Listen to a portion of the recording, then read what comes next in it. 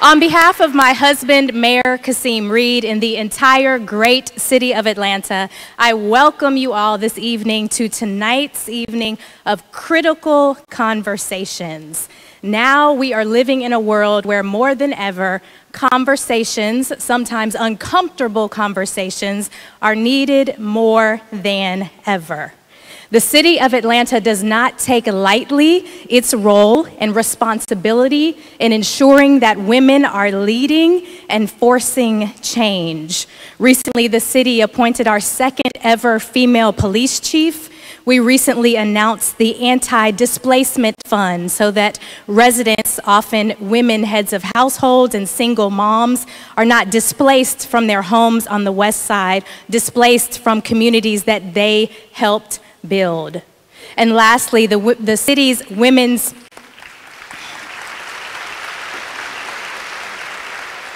Lastly, I'll mention the city's Women's Entrepreneurship Initiative, where the city of Atlanta takes women entre entrepreneurs and provides free office space and access to technology so that women entrepreneurs can grow their business.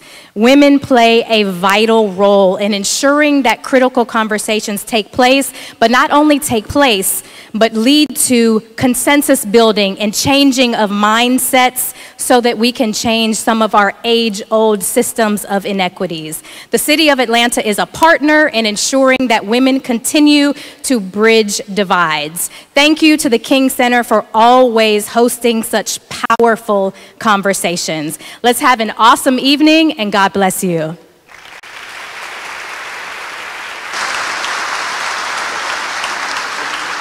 Ladies and gentlemen, please welcome the First Lady of Ebenezer Baptist Church, Mrs. Ouleye Ndoye Warnock.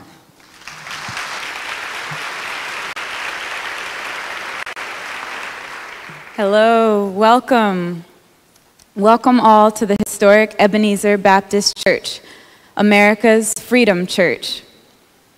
Every Sunday here at Ebenezer, we say our motto together.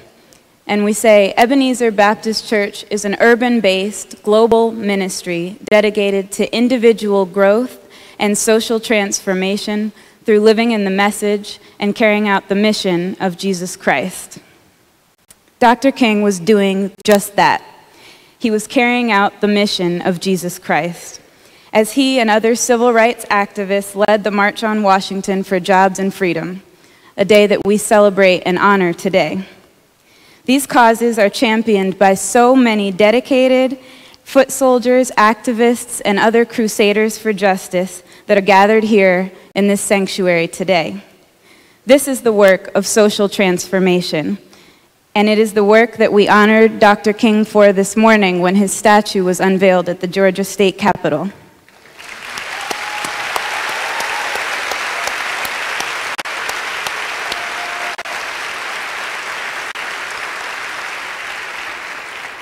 As Dr. Bernice King reminded us this morning, this was the work that, that Mrs. Coretta Scott King dedicated her life to so that we would all remember the work of her husband, the late Dr. Martin Luther King. So we honor her as well.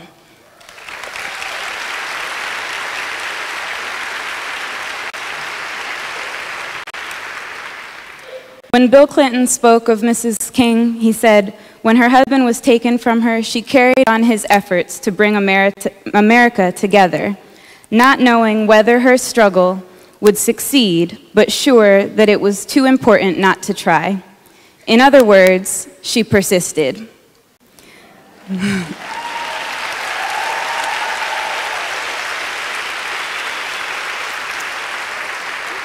so, as we look back and honor history, I'm so glad that we will also look ahead and see what we can do in this moment.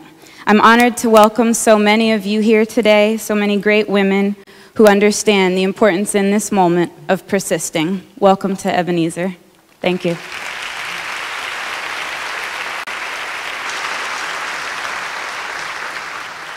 Please welcome our moderator, the youngest daughter of Dr. Martin Luther King Jr. and Mrs. Coretta Scott King, and the CEO of the King Center, Dr. Bernice A. King.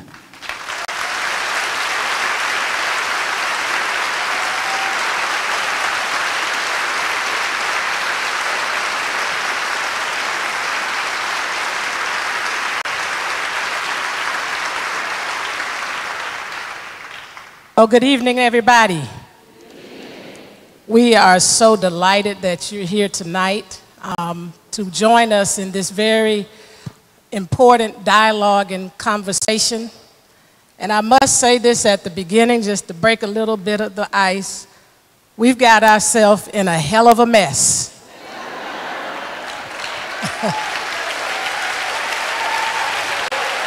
yes, we do.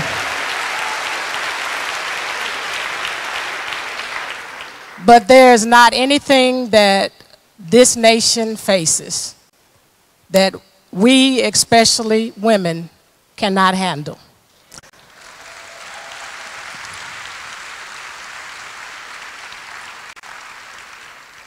We will be that persistent presence and that persistent voice in the struggle for freedom, justice, and equality for as long as it takes. And so I want to welcome you tonight uh, to our beloved community talks. Let's bridge the racial divide across urban, suburban, and rural America. Today, as many of you know, is a very famous day. Uh, some 62 years ago, um, a young teenager lost his life senselessly for allegedly whistling at a white woman but I say he lost his life for just being black, and at that time, Negro. Emmett Till was murdered on this day, some 62 years ago. Some 54 years ago, as was already uh, mentioned by Mrs. Warnock, my father delivered his famous prophetic speech, I Have a Dream, from the steps of the Lincoln Memorial. And now, because of that, the sons of former slaves and the sons of former slave owners on this day witness the unveiling of a statute on the grounds of our state capitol here in Georgia.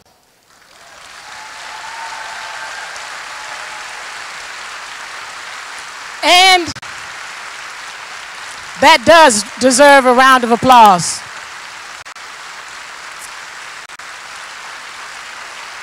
Thank you.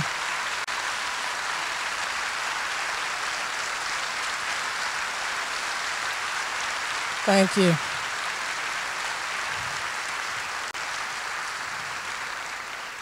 And of course, we cannot forget some 50, some, is it nine? I think that's right. Some nine years ago today, an African American senator from the state of Illinois accepted the nomination to be the Democratic candidate for the President of these United States, Barack Hussein Obama.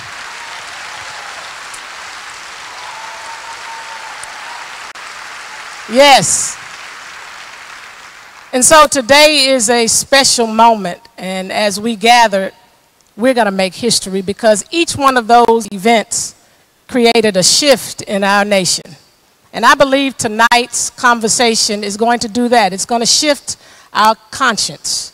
Uh, we have purposely brought together divergent voices because with the current polarization and tension in our nation, it's time that we get up close and get personal and have discussions that may be a little bit uncomfortable but necessary for us to come find a common way forward because as my father reminded us in his last book, Where Do We Go From Here? Chaos or Community, he said that we must learn to live together as brothers and I add sisters, or together we will be forced to perish as fools. And so tonight we're going to learn. We're going to peel back uh, the onion and um, we're going to do it in a civil way. We're going to show uh, this nation and this world how to have these courageous, necessary conversations. But we recognize that conversations are just a beginning. But as Dad said, people hate each other because they fear each other. They fear each other because they don't know each other. They don't know each other because they are not communicating with each other. And they don't communicate with each other because they're not connected. And so tonight we're going to be connected and we're going to be communicating so that we can begin to know each other, so that we can do away with the fear and, and alleviate and eliminate hate in our society. Because hate cannot win. Only, as Dr. King uh, taught us, only love prevails. And ladies, as my mother said, women, if the soul of the nation is to be saved, I believe you must become its soul. And so again, welcome. And uh, we appreciate all of you being here tonight. We're going to have a few conversations. Uh, and I want to say to everyone in the audience, there's going to be an opportunity for some questions. We won't be able to get to all of the questions, uh, but as we ask those questions, let's just remember uh, the spirit of uh, the, the, the nonviolence that my father left with us, which we call Nonviolence 365, uh, because it's a lifestyle, and that our goal and objective is not to win over people in our dialogue and conversation, but it's to win people over.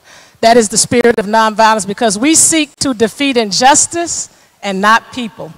And so, welcome again, and I am going to turn it over to the voice of God. And now we'll welcome Senior Democratic Senator of Massachusetts, Miss Elizabeth Warren. Thank you, sweetheart. Thank you.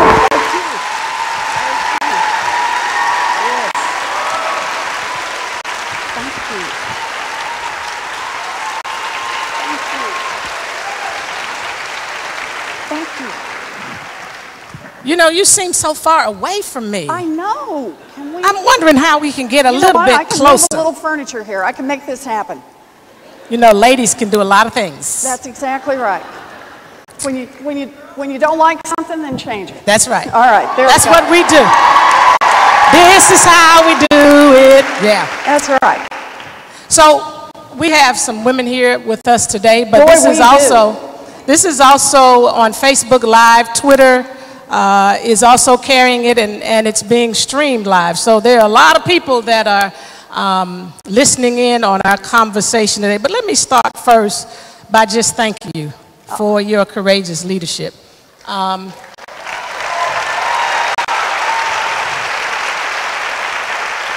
when I when when I turned on the television and saw that you were trying to um, introduce my mother's letter on the floor of the Senate, my heart was just so overwhelmed. Um, it's been e- 11 years since my mother um, left us, and I've been just hoping and praying that she would once again emerge in some kind of way. And so I want to thank you for letting her voice uh, be heard in these times, in these difficult times, um, and for persisting in the midst of all of that. Uh, but, but I want to I wanna ask a, a very in, important uh, question. One, first of all, how did you handle the persecution um, and the humiliation of that moment? Because so, many, so often as we as women and as individuals uh, are challenged with taking a stand, speaking up, standing up, it does take courage. But it also comes with some persecution. So how, how did you handle that? Well, it, so let me just start by saying how honored I am to be here with you and to be here in the center that your mother built. Uh, the night that I was told to sit down and be quiet because I was trying to read your mother's letter uh, on the floor of the United States Senate, I never knew that I would get a chance to read her letter, not on the Senate floor, but on just to do it live stream and introduce that letter once again to millions of people across this country. You know, at that moment, all I could think about is this isn't about me. This is about a message of justice that the Senate Republicans at that moment just didn't want to hear. They just didn't want to hear it. And they thought the way you could not hear it was to make me sit down and be quiet. And it is the reminder that they got that exactly wrong. When you try to suppress, That's when right. you try to push down, when you try to silence, mm-hmm. then that just makes us all that much louder. And that's what happened with your mother's letter. That's how yes, I see it. Yes, yes, yes.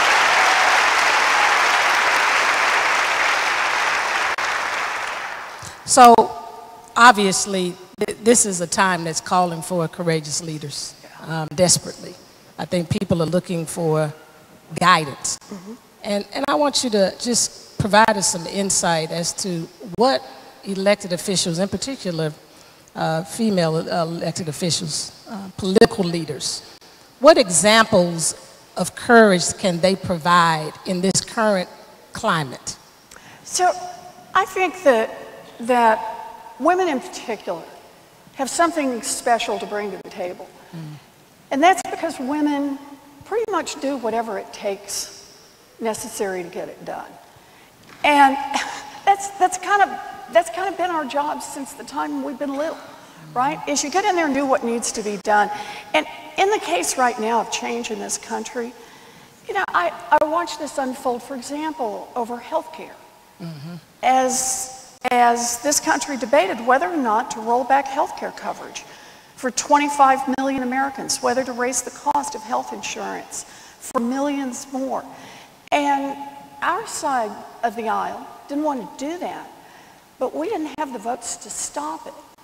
And the way, the way it was stopped was by the voices of people all across this country who made themselves heard. In fact, can I ask, how many of you tweeted about health care or posted about health care? or sent an email about health care, or made a phone call about health care, or showed up for a rally about health care, or a protest, or at someone's office. That was how we made change in this country. That is how we made the voice of the people heard. That's what gives us strength. So tonight we, we're, we're talking about bridging this racial divide. Mm-hmm. Um, racism is very contentious, yeah. and um, uh, sometimes we try to avoid it, mm-hmm. um, and I believe that we have to confront it head on. Um, many times people see racism as really impacting only black and brown mm. people. Um, but my father reminded us of the interrelatedness of life when he said we are caught in an inescapable network of mutuality tied in a single garment of destiny, and what affects one directly affects all indirectly. And he went on to say, I can't be all that I ought to be until you are all that you ought to be, and you can't be all that you ought to be until I am all that I ought to be. With that said, how do you believe racism impacts all of us? And how do we get, in particular, the white community in general to understand that? So I think one way is because it, that it impacts all of us is that it divides us. Mm. It turns us against each other. And your father spoke to this as well. Because when we turn on each other, then that means we're not facing the problems that are our mutual problems. You know, right now in America, we have an economy that works for those at the top, and it's not working for anyone else. Can I, can I do numbers for just a second? Sure. Okay, good. Because um, this is this actually this, this is something really important to talk about. You look at it in America, we, we were a boom and bust economy. The big one hits in the Great Depression. And Franklin Roosevelt says, we can do better than this. We can do better. And so America starts making more investments in the future, makes more investments in education, more investments in infrastructure, more investments in basic research. And what happens? GDP goes up, but here's the key. The 90% of America gets 70% of all the new income growth in the country. And it hits across a broad range upper middle class, middle class, working class, working poor, and poor poor. Everybody is getting more. Now, it's not perfect by any stretch. The black white wealth gap was there from the time we first started measuring in the 1940s. But the civil rights movement led by your father, starting in 1965, just to 1980, just a 15 year period there, the black white wealth gap, when we passed the civil rights laws, when we invested in economic opportunity for more Americans, it shrunk by 30 percent in just, in just 15 years. So think about that. We weren't in the right place, but we were on a path. And then you watch things change about 1980. Ronald Reagan gets elected, trickle down economics, deregulate Wall Street and big banks, and cut taxes for those at the top. And what's the consequence of that? We start spending less on education, less on basic infrastructure, less on research, the things that help build a vibrant economy. And here's what happens the, the GDP continues to go up. That's the good news. GDP goes up in both periods. But the 90% of America, the group that got 70% of all the income growth in that first time period, from 1980 to 2016, the 90% of America has gotten almost zero new income growth. Nearly 100% of new income growth in this country has gone to the top 10%. And the black white wealth gap has tripled in that period of time. Now, in an America where you can turn black against white, when you can say, oh, race issues are over there, something else we don't want to have to talk about, no one focuses on and addresses the economic issues that are affecting all of America. And that's what it is we need to focus on. So I, I want to, I'm, I'm, glad, I'm glad you went there because I, I want to push you a little bit further on that. My, my father said uh, that racial injustice or economic injustice and racial injustice are perennial allies. Um, so how do you feel that really fuels or feeds uh, the current racial division in this, this nation? Because we don't talk about that enough, That's I right. think. I, I think When- that's exactly right. And you know, I was um, uh, so pleased. I was asked last year in 2016 to address the Democratic National Convention. And I quoted your father mm-hmm. on exactly this point to argue that to help America succeed, to help people succeed, it's going to take bringing us together, not dividing us. So long as we stay divided, then this economy will continue to work for a thin slice at the top, and everyone else will be left behind. That's how I see this. So I'm going to ask you a question Sure. Because there's a lot of division and polarization, especially in Washington. There is. Um, when President Obama was in the White House, there were many people who didn't like him. And they fought against everything that he was trying to do was in favor from day one. Mm -hmm. I think And it was now- actually before day one. Well, yeah. I, I That- really that- did. That's true. I think it was from the moment he got elected. That- that's true. They said, not that, not that. And Right. it continues. Uh, and, Mm-hmm. And now, and now, uh, President Trump is in, in the White House, and obviously there are those who don't like him, and they're fighting everything and resisting everything that he's trying to do. What is my point? I guess I'm concerned because I see some tension here that exists. That if we're not careful, we're going to keep doing these extremes back and forth, and it's I believe it's going to harm America. So, what is the what is the solution to stop that back and forth. The, well, we resist and we resist, and we resist and we resist. How do we find a common way forward so that America overall can move forward? Because we are caught in the midst Yep. of, So, so let me start with, with the government part of this, Okay. because that's, because that's my job right now, is to think a lot about what we do with government. And for me, it really is this fundamental question that I was just talking about. It's who do you think government works for? If you think it's supposed to be for the people. well, it's supposed to be for the people, but let's face it, Washington is a place that works great now. If you can hire an army of lobbyists, if you can hire an army of lawyers, if you're a giant corporation, if you're a billionaire, and this is how it works. Every decision that gets made in Washington, there's somebody in the room to represent the rich folks. There's somebody in the room to represent the giant corporations. And in every decision, to make the argument that maybe you could just, just change that decision just a little bit, just to just make sure the guys that I'm getting paid to be here for get, get just a little bit more. And you do that over and over and over, and you end up with a government that really has been seized by those at the top and who keep making it work for themselves. So for me, the test is not about Democrat versus Republican. It's not about one president versus another. So much as it's about whose interests are you trying to advance. Remember, one of the very first things that President Barack Obama did is he got out there and fought for health care for millions of people across this country. You know, and there are those who wanted to do it one way or a different way, but the point is we knew what he was aiming for.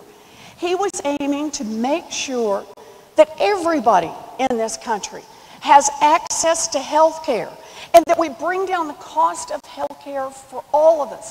To me, that shouldn't be political. That shouldn't be partisan. That shouldn't be one president versus another. That is a leader, a leader who is saying that this is what is right for human beings in this country, for people, for all of us.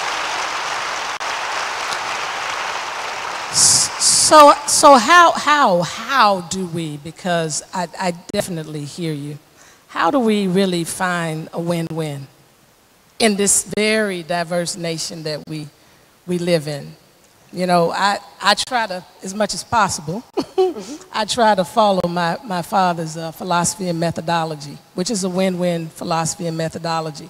And it really is trying to bring divergent interests together and looking at how do we find that, that common ground so that we can really move forward.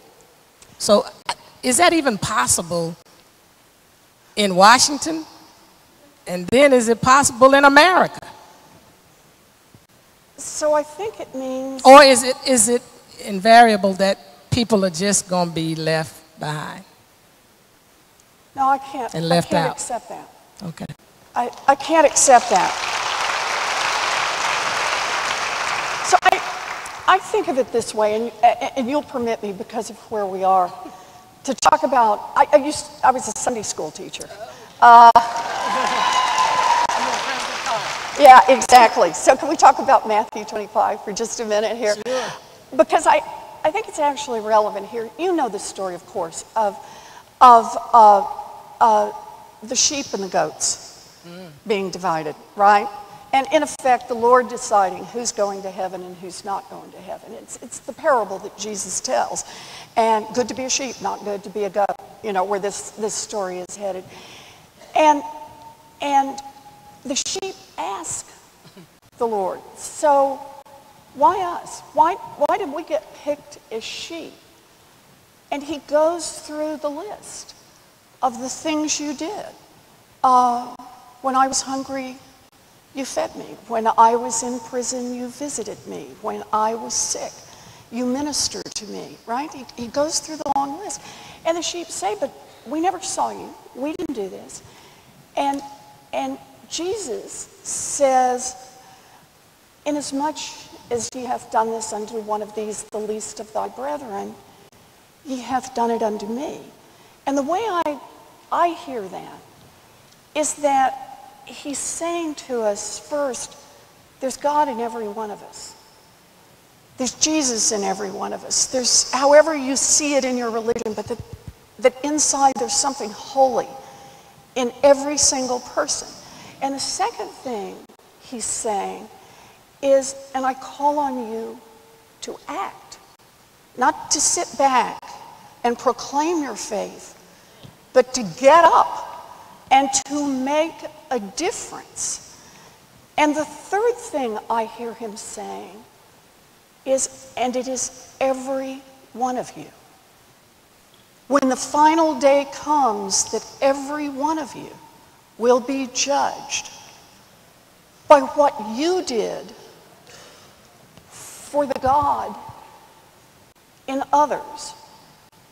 I think that's the place we start this conversation. That there's God in all of us, and we must die. That's how I see it. Definitely. And I think we call that the, the Imago Dei, Yes. the, the image of God um, and that divine spark. Jesus also said something else that I've been wrestling with lately. Um, he said, Love your enemies. He did. He did. He did. But it gets even better. He said, Bless them that curse you. Mm-hmm. Most times we skip over and say, Pray for them which despitefully use you and persecute you. And we forget one of the most important parts that says, Do good to them mm-hmm. that hate you. Mm-hmm. For those of us who are Christians, it's a commandment. How do we do good to those that hate us? Because that's where we are today. There's a lot of hate in this society right now. How do we do good to the folk that really hate us? Because I'm convinced that it's very difficult to protest hate. The only thing that conquers hate is love. Um, so, I know I'm getting in trouble for this question, and I'm standing by it. In the spirit of Christ and in the teachings of Dr. King, I think we're in that moment of doing good to them that hate us. Because I believe there's a transformation in that. I mean, my father constantly did good to those that hated him. The deranged woman who she was deranged and hated him and stabbed him. And she, he was more concerned about her well being than he was about the knife at his aorta, that if he had sneezed, he would have bled to death. The gentleman who came up and socked him, and he refused to sock him back, and he stood there and was concerned about that man. How can people in this season of all this hate learn to do good to those that hate us? That's a holy hush. Because that's where we're being called to, I believe, in the midst of all of this. Um, and it's a tough scripture. It's a, it's a tough scripture, but notice it's not a scripture about being passive.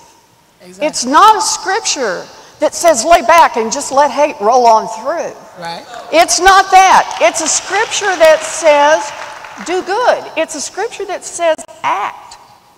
It is a scripture that says make your love strong. It is a scripture that says to me raise your voice. Make sure you are heard. That's how I hear that scripture. Okay. Not in anger, not in anger, but make your voice and- and heard that- in strength and for that's- what is right key. and what is holy. And that's the key. You just said it, not right. in anger. Not in anger. And that's But- what we have to work on. But in righteous indignation. But in determination. Yes. And Yes. righteous indignation. All right, I'm going to open it up for anyone who has any questions. Um, I think we have just a few minutes. If you come to the mics that are, are there mics there? I'm right over here. Okay. Yeah, so I There's had a lady que- here um, that wants to ask a question. Is there Okay. a mic nearby?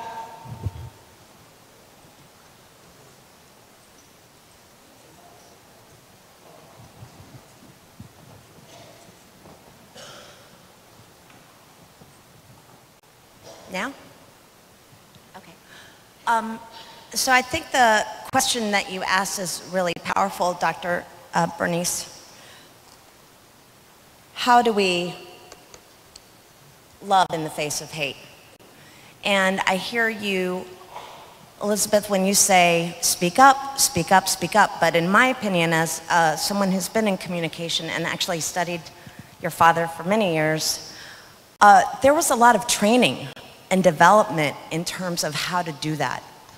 And I think it starts with understanding human behavior, especially our own, first. With all this talking, I don't, I'm concerned about there being any real listening. Is there any listening?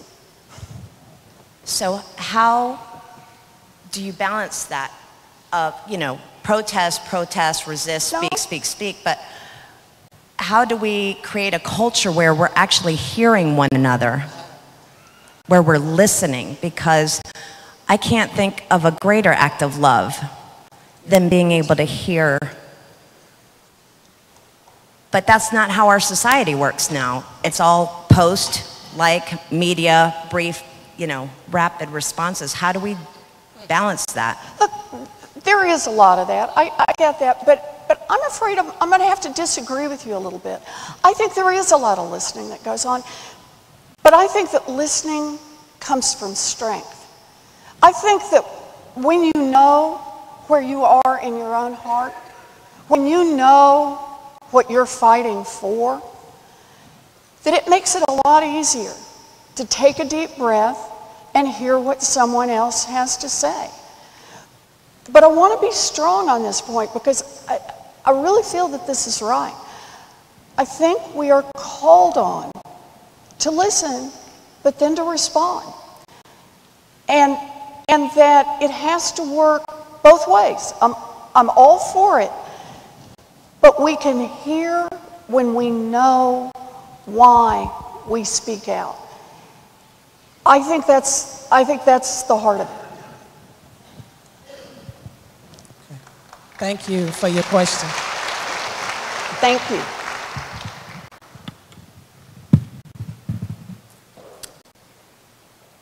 Thank you for holding this um, conversation. Oh, thank, thank Dr. Thank King. you. She's Thank- the one. Thank you for being here. Thank, Thank the, you. the whole community, and um, you know, this might sound a little naive. I'm 62, so I was like 10 years old in 65. I remember a lot of the marches and the civil rights movement. And I've been saying recently that wouldn't it be wonderful if we all did what was done back during those marches where people dressed up, looked respectful, went arm in arm, black and white, and just showed a strength that is based on love. Back then, people joined arm in arm. And the fact that they, you know, I mean, it was a respectful thing. I think that's powerful. The conversations, you know, there's so much social media that the human element has really, as you said, kind of been removed. But when we get together in community and we, we share, you know what? You, food brings people together. Have a great meal, form individual community gatherings, and have those marches where everyone's dressed up and they're arm in arm, the blacks and the whites, because you know, it can be done. I know we went through a long period where racism didn't seem to be as prevalent as it is within the last, oh, I'd say 20 Can, years can I more. get you to get to the question because we got to keep You moving? know, I'm sorry. I don't really have a question. Oh, was- okay, it's, well, it's simply, I- it's I- simply I- a we got- suggestion. we- okay, we- Start at the community level and work out. Okay, thank you. We appreciate it. Thank you. God bless you. And thank you for Dodd Frank. Thank you. This will, this will have to be our last question because we have other Hello, uh, um, conversations and some of our conversations are going to have to leave to catch a Yes. plane, so. Hello, Dr. King. Uh, my name's John Noggle. I'm working with a grassroots organization called Atlanta, City of Peace. Our goal is to see Atlanta formalized as a global capital of peace. My question is uh, about your father uh, being considered. Before you, before you go a little bit further, is it for Senator Warren? Because I'm, I'm only here as a moderator today. Uh, actually, it's for both of you. Okay, I won't, I won't be answering, just so you know. Okay, Because I need to stay in my lane and keep us moving. Thank you. Thank you. Yes, Senator Warren, uh, uh, Dr. King is considered Mahatma Gandhi's most globally productive peace movement protege. And of course, Coretta Scott King was a great proponent of Mahatma Gandhi as well. I was wondering what you thought about Mahatma Gandhi's uh, proclamation uh, in 1930, 87 years ago. He said, If nonviolence is the law of our being, the future is with woman. Do you want to say that again? I'm not sure everyone heard you. Mahatma Gandhi, the most accomplished peace builder of the last thousand year period of human history, said, The future is with woman. What do you think about that? Pretty sure they hadn't heard you. I think that women are coming into a moment right now. You know, I, I went to the inauguration uh, uh, and watched uh, the transition of power from President Obama to President Trump. And for me, it was a hard moment. Uh, I, I had not supported President Trump. In fact, fought pretty vigorously and pretty loudly against him. But it was that moment. And the next morning, I was back in Boston and uh, thinking about what are we going to do? Uh, it's now so many things are on the line. Uh, healthcare, for one. It's with, given where the Republicans have said they are in the House and the Senate, and now, now with President Trump, people are going to lose their health care. Uh, uh, the rules on financial regulation may be rolled back, and that's going to put a lot of people at risk. A lot of people, Department of Education, a lot of people get cheated on for-profit colleges and worrying about these things. And I was thinking about, we have to raise a, an army, an army of our voices, an army of the people. And I was thinking about this as I was heading into a march on that Saturday morning. Uh, it was the Women's March. And, and I was thinking, where's, where's our army going to come from? And I'm, I'm in this car and we're turning to try to get over to, to uh, uh, where the march is held, right in the center of Boston. And I look up and, and families are moving in toward the common and there's you know, there's uh, uh, uh, women wearing pink pussy hats and people holding signs and you know, somebody holding up a sign, uh, uh, this is my first march, but not my last, and, you know, people who were getting all engaged. And I looked over, and there was, there was a man with a little girl up on his shoulders, and she was holding up this sign that clearly she had made. And I say that because it had rainbows on it, it had glitter, it had, it had unicorns, it had a, the whole business, and horses across it. And what the sign said was, I fight like a girl. And I thought, me too, sweetie. That's what this is going to be about. Me too.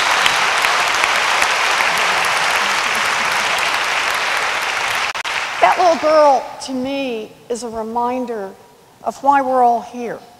It's a reminder that we do take the chance to get together, to see each other, look in each other's eyes, touch each other's hearts. And we take this chance, though, to remind ourselves why. Why we get up every day, why we are called on to lift our voices. There was a moment when I had the chance, the honor, to read your mother's speech. And it didn't work the way I thought it would.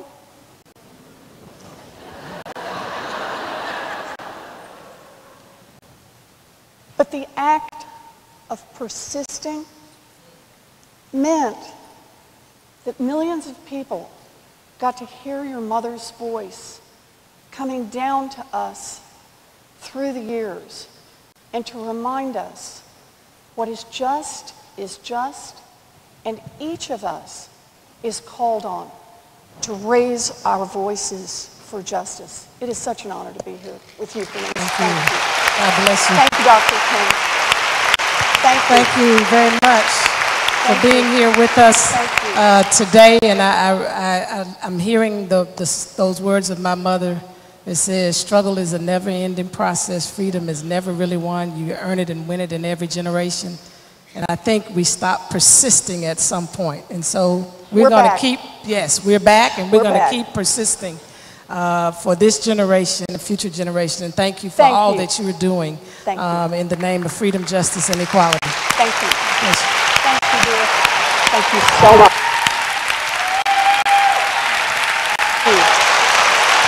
Senator Elizabeth Warren, Thank you. thank you very much. Thank you. Thank you.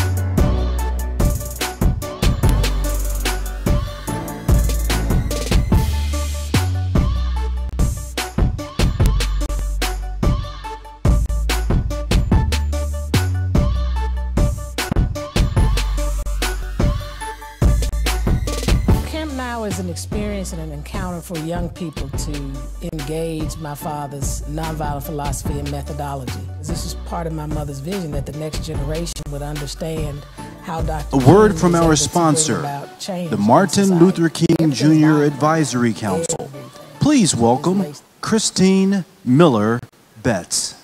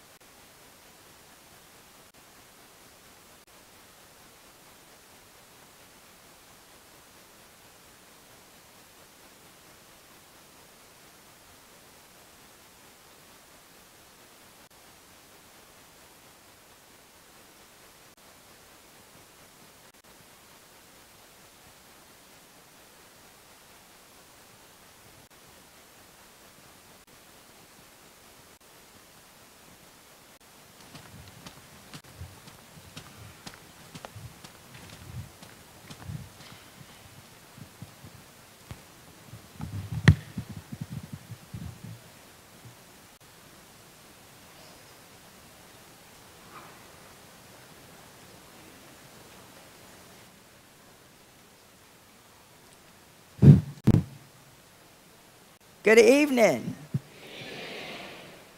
On behalf of Senator Emanuel Jones and the Martin Luther King Advisory Committee, we applaud you for your organizational program and the charge to carry out the legacy of Martin Luther King Jr. As penned by Georgia's Governor Nathan Deal on May 9th, 2011, he says, it is the duty of the Martin Luther King Advisory Committee to promote the principles of nonviolence, peace, social justice, and the awareness of the appreciation of the civil rights and the life work of Martin Luther King Jr.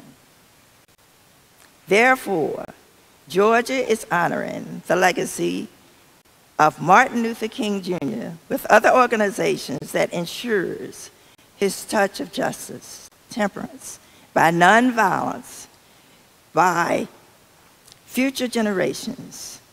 This will occur our primary mission is to maintain an appreciation of the civil rights movement and the life and the work of Martin Luther King Jr. Many thanks to all of you who have joined us as we carry out the edit. Thank you and good night.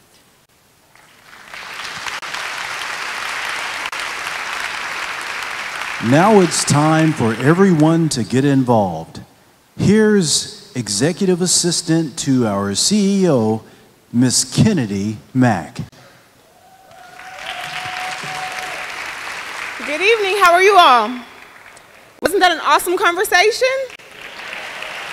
So it's now time for us all to get involved. If you pull out your cell phones, we can snap, um, tweet, Facebook, um, or even if you're watching via live stream, um, tweet using the hashtag BCT King Center and let everyone know that you're here um, at these courageous conversations and how they can be a part. You can also text to give at 243-725, text Dream Forward, um, and we can all get engaged. Um, so let's get to tweeting. The number is 243-725, and you can text Dream Forward and give. Or you can use the hashtag BCT King Center. Y'all got that? Let me say it one more time? BCT King Center. One more time? B, Beloved Community Talks. BCT. So let's take a selfie um, so we can get the party started. Are y'all ready? So let's all say BCT on three. One, two, three. BCT! Woo! Thank you. So I'll look for your tweets and Snapchats and Facebooks, right? I didn't hear a resounding yes. Yes? Okay. Thank you all.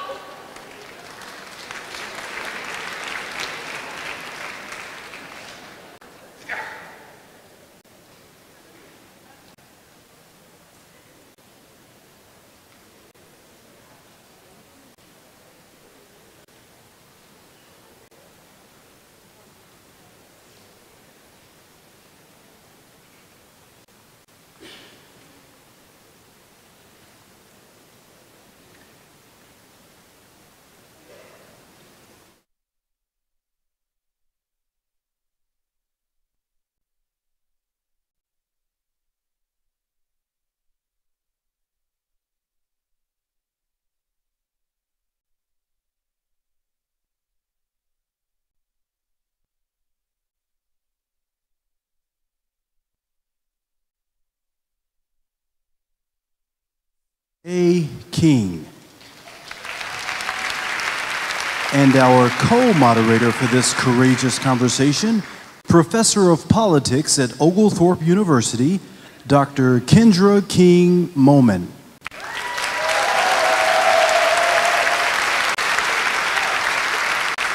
Our lead conversationalist for this dialogue, our faith leader and Fox News contributor, Evangelist Alveda King,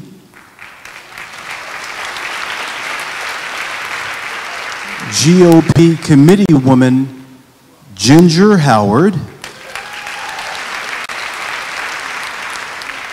clinical psychologist and author Dr. Gloria Morrow, social activist Tamika Mallory,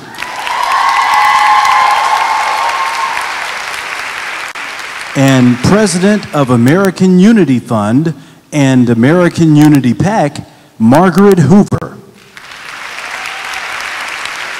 For this dialogue, our conversationalist will discuss bridging the racial divide, women in leadership, reaching beyond our differences of faith, politics, and race to humanity and healing. Welcome, ladies, and thank you all for agreeing to be here today um, in this conversation. And uh, I want you to relax, uh, and uh, we're going to have some um, courageous dialogue And um, I want to start by saying um, this, we, we, obviously know that this is a very tense uh, time in our nation uh, racially. Uh, just this past weekend, two days ago, um, I was leaving my neighborhood and um, there was this uh, white gentleman. In my, now I live in supposedly a majority black neighborhood. And there was this white gentleman pulling out of uh, one of the streets. I had the right of way. And he just insisted on pulling out and pulling out and pulling out. And I was trying to go down the street, and he just kept pulling out.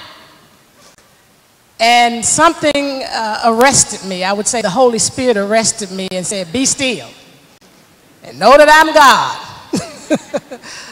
uh, and when he pulled out, he pulled out and stopped as if to antagonize me. And he looked at me like, I dare you. I double, triple dare you. What you gonna do now? And in that moment, I had to make a decision because I could have escalated that situation, and who knows, he may have had a weapon, it could have been very bloody. But I had to exercise some discipline in that moment because these are very tense times. And he may have been in the neighborhood just to aggravate uh, a situation. And so when we think about that kind of encounter, I want to start with uh, Dr. Gloria uh, Morrow, who is a clinical psychologist. Um, and um, when we look at uh, the racial climate, uh, and we think about our dark past of Jim Crowism, slavery, um, separate but equal. And um, we think about uh, the trauma um, that we faced as a nation, even the, the Civil War. Um, how do you think trauma factors into the current racial climate? And not just for black people, because a lot of times people feel like we as African Americans are the only ones who suffer the trauma. Now, our trauma is obviously much deeper and longer, but white supremacy has traumatized America and the world. Um, and now we're kind of seeing this culmination of tension that's coming to the surface. And what do we do about it? And how does that factor into our ability to truly address the racial divide? Dr. King, thank you so much for this courageous conversation we're having because so many of us are traumatized and re traumatized because of this long history of racism in our country. And I want to say we have to know, as Dr. Joy DeGruy Leary talked about, our people have been dealing with post traumatic slave syndrome. And it manifests itself like post-traumatic stress disorder, but when we have a historical cycle of racism in our history, and then we continue to be re-traumatized and re-traumatized, it makes it very difficult for us to not want to be fighting and angry and hating one another and hating the status quo, hating the enemy, and not doing good to the enemy. And so the next part of your question is, what do we do about it? We have but, to but start. Before, before, you go there, okay. I'm, I'm going to push you on the other side too. Yes. Okay. Um, and and I can I think I can get away with this being my daddy's daughter.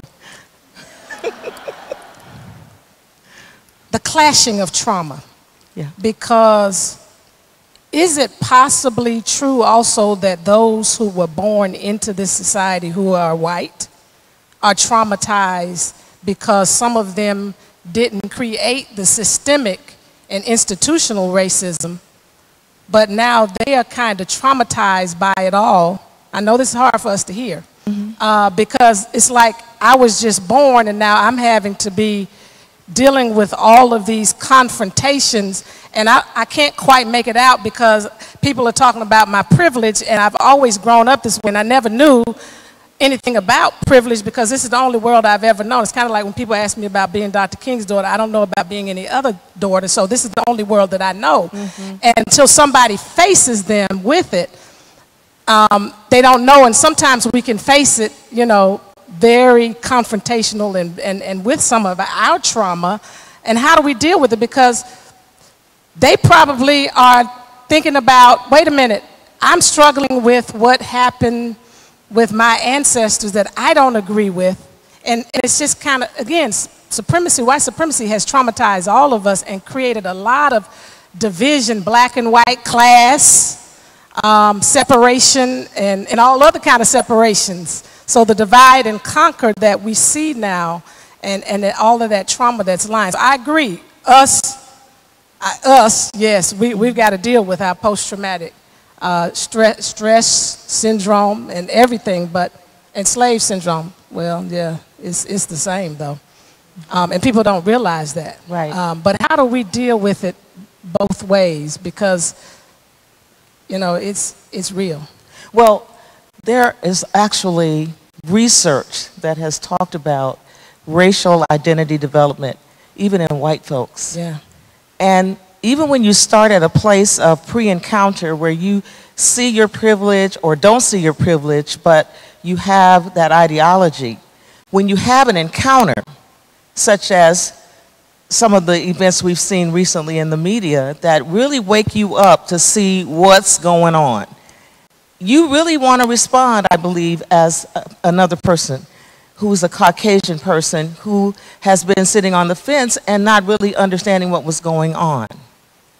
But then when you do try to make movement, and because of the hurts that black folks and brown folks and all folks have experienced, we don't trust the white community when they do come to try to help when that's what they say they are doing.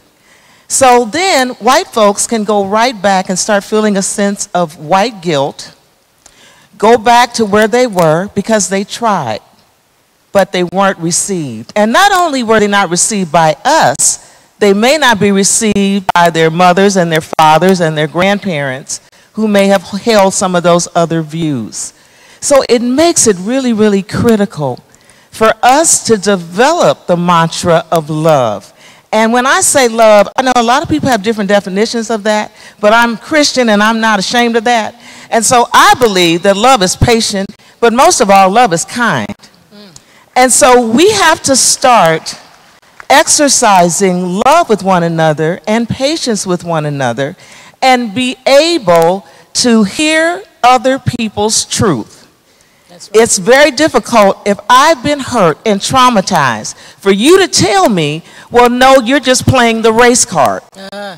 That's very difficult because that just tunes me right out.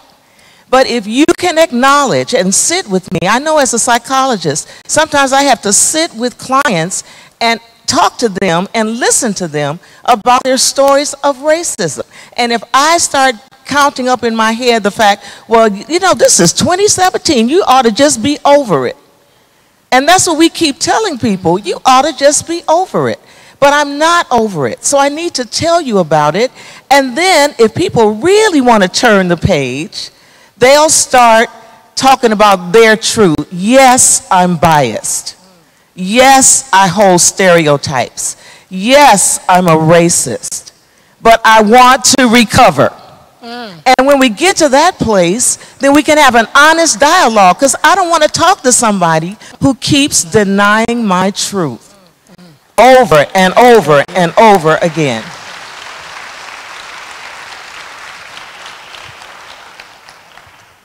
Wow, Dr. Morrow, you said a mouthful.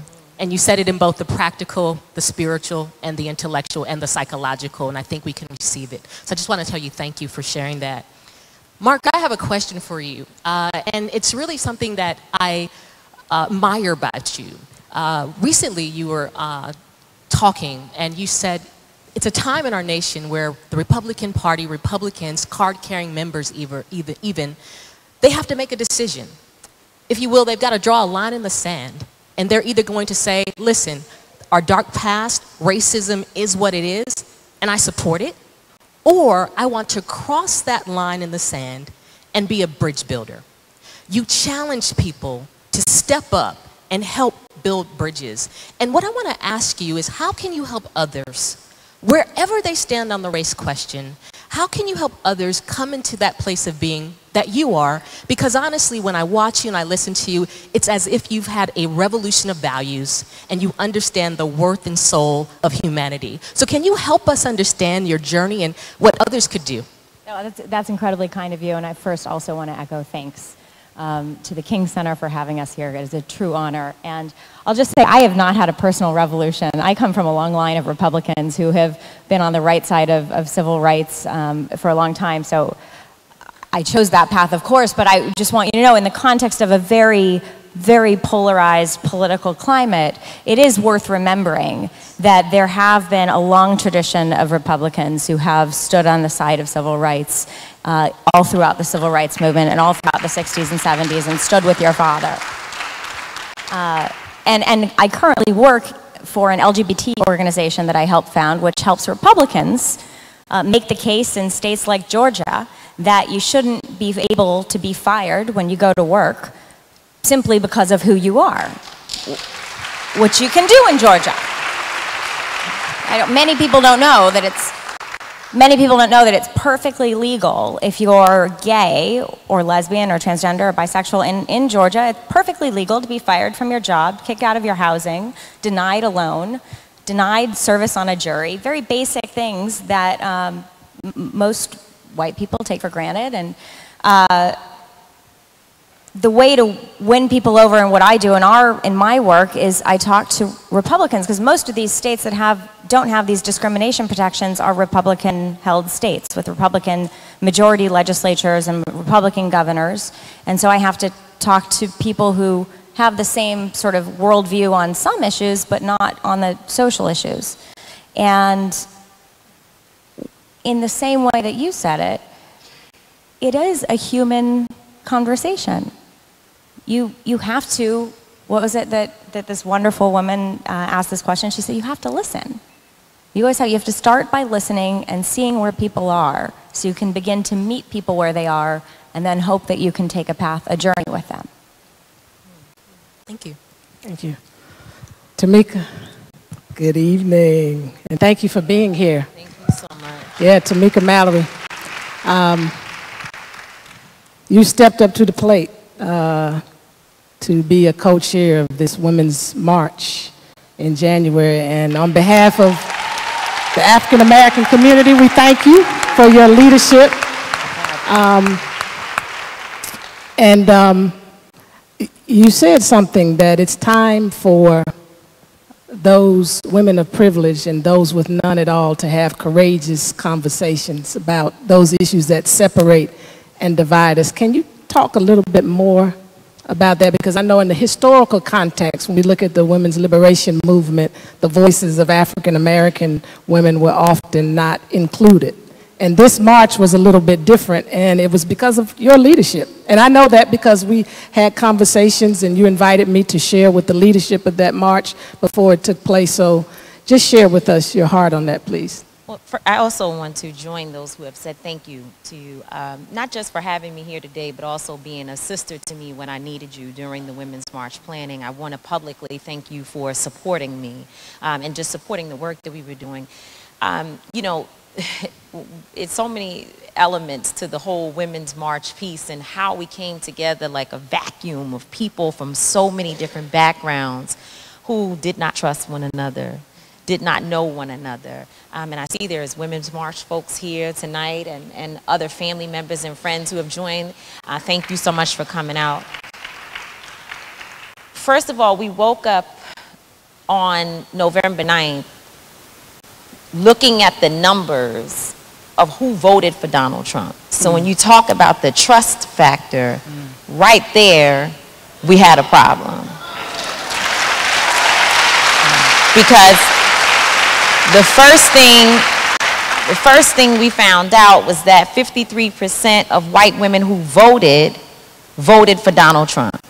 So we were automatically up against this sad reality that once again, you've betrayed me.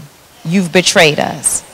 Why? Because you voted for your own personal reasons for this person who we knew was dangerous for our communities and dangerous for our world.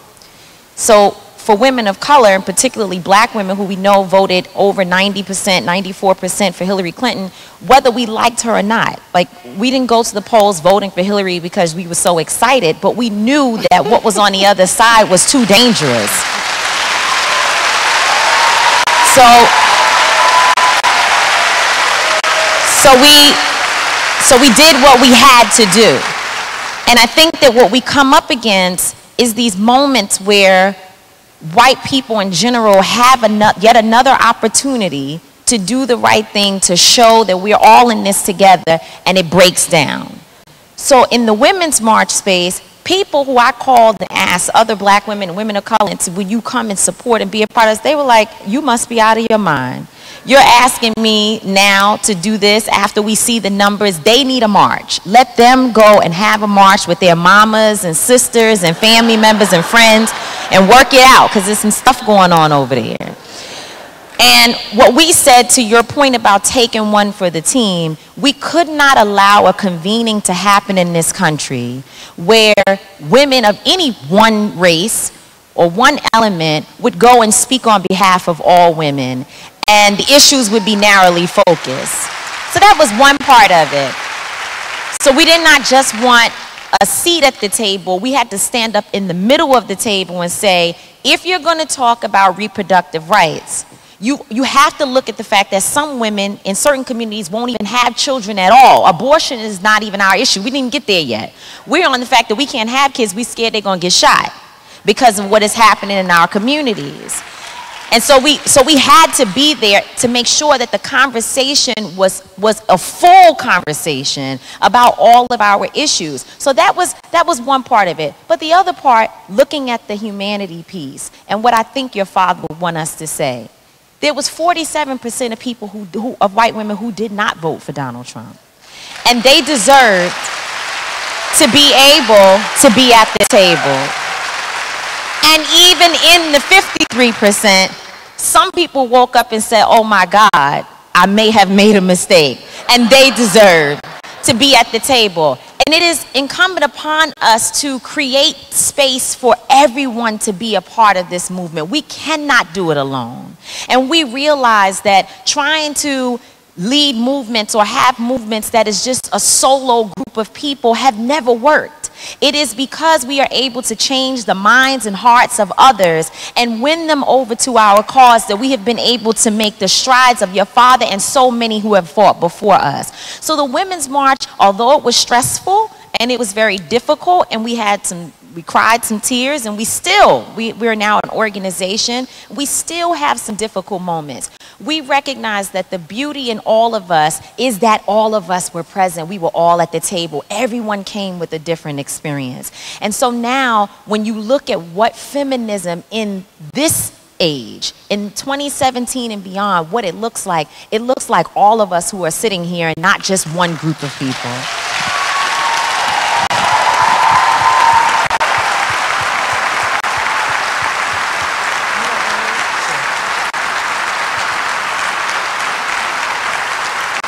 But before, before she, she's going to ask a question, but I'm going to ask a question later of each, each one of you um, because I want I want to push us because the, the danger in sometimes these conversations is that we can become very political, all of us.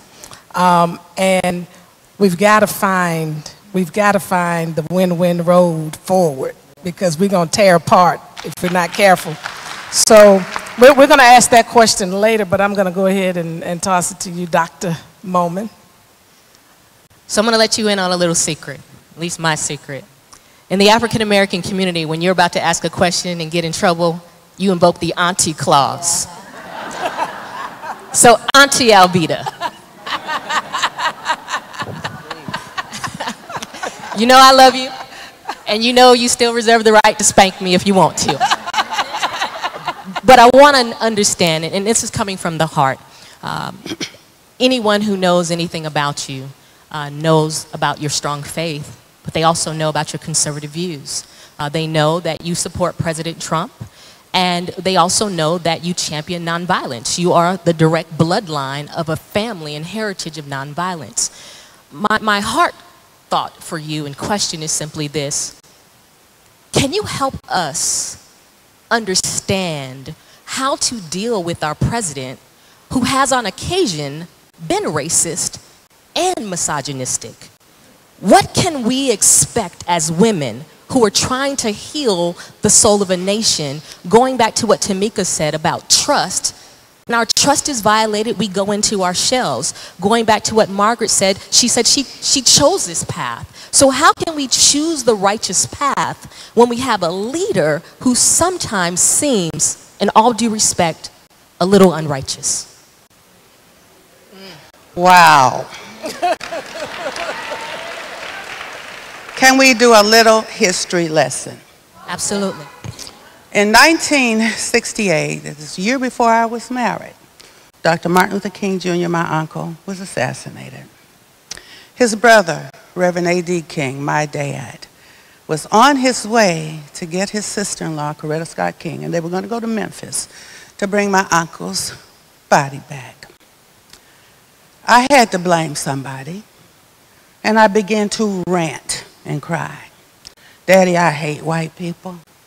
I hate white people. They killed my uncle. My daddy, in the midst of his grief, said, Acts 17 26, of one blood, God made all people to live together on the face of the earth. We are one blood. They are not separate races. Racism is a lie and racism is a sin. He began to rock me in his arms. He said, white people march with us. White people pray with us. White people go to jail with us. White people die with us. White people did not kill my brother nor your uncle. The devil did. Now, Daddy said that. It took me years to totally get there with white privilege and all that. And I've had people repent and cry. I'm so sorry. I am a racist. Help me in all of this. I was born again in 1983 and my heart changed. And I was able to accept we are not separate races. We are one human race. Different skin color with red blood.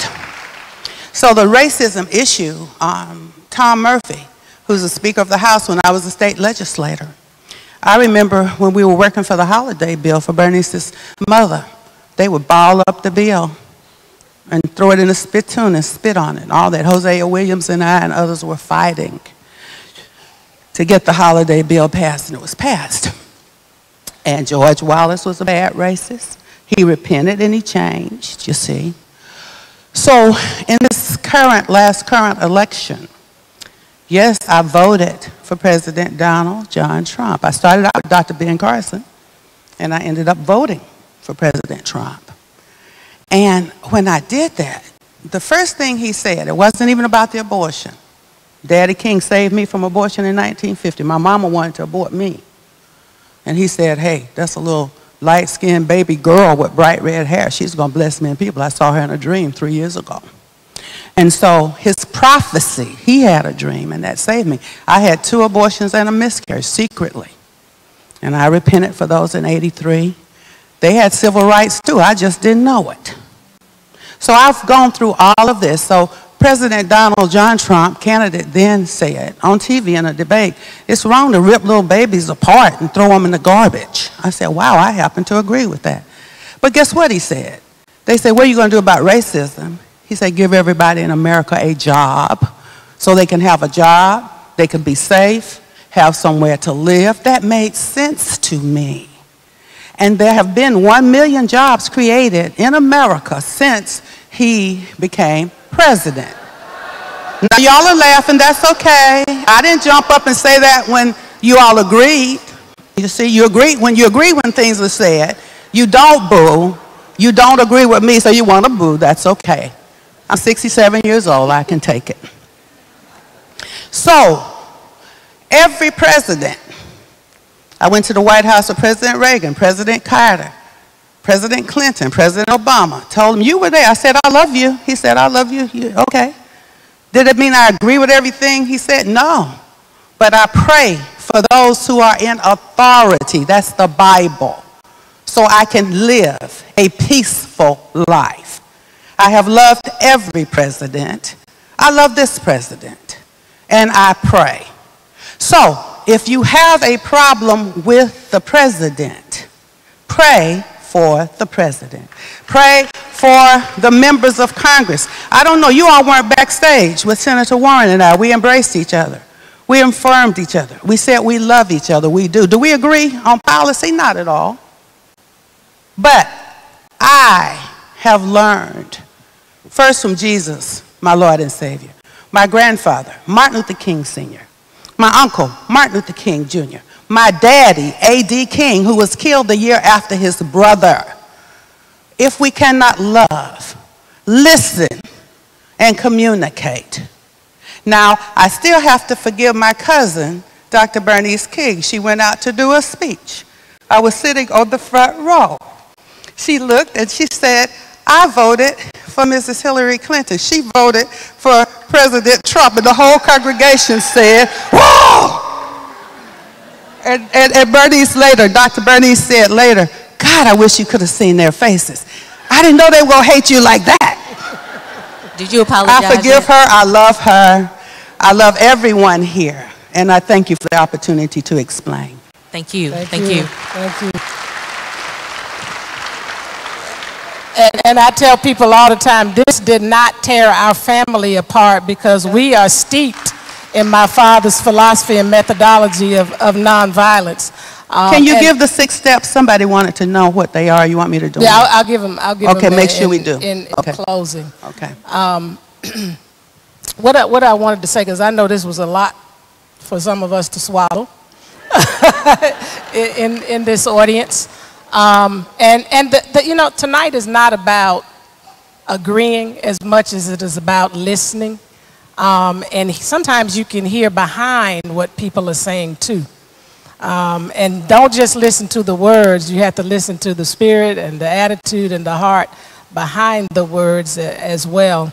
Um, but I, I want to um, I want to shift gears a, a, a little bit to to speak to um, um, Ginger because as we think about uh, President Trump and, and the current climate and, and the current um, um, environment and all of the tension, the polarization that exists um, in, in these times. Um, I'm, I'm just wondering how we can find that, that, that meeting place. Maybe we can never do it. I mean, maybe I'm too idealistic, um, but I, I just see uh, that the way we're going in this nation is, is on a dangerous course. Um, and um, even though Vita and I uh, have different political uh, ideology, uh, there's some things we agree on politically, uh, and there, there are other things we, we disagree on. Um, but we find, found a way to really create relationship, um, and she probably ain't gonna never change. God bless her. You're supposed to be apologizing. she- she- oh, I'm sorry. Um, uh, but uh, um, as a as a woman of faith yourself, um, and and a conservative, um, can can you help us um, understand how conservative conservatives, especially women, can find a way to bridge some of the divide, um, particularly with the African American community, because they're those that feel like uh, conservatives uh, don't identify with the issues that systematically affect um, the African American community. And, and how, how can we move forward and have more conservatives, and especially because we as women, I think, can be uh, a, a, a little bit more uh, reasonable because of our heart than men. Now, I'm not trying to be, what's the opposite of uh, sexist? I guess I'm a reverse sexist. Is that what you want to call it? But, but how, how, how can we find, um, how can we find that connection?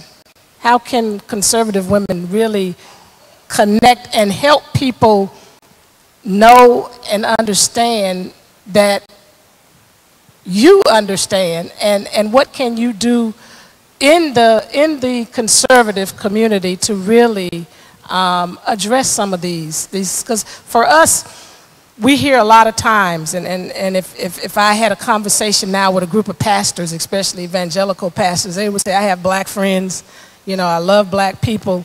And, and that's one thing, and that's, that's an important thing. It's very critical.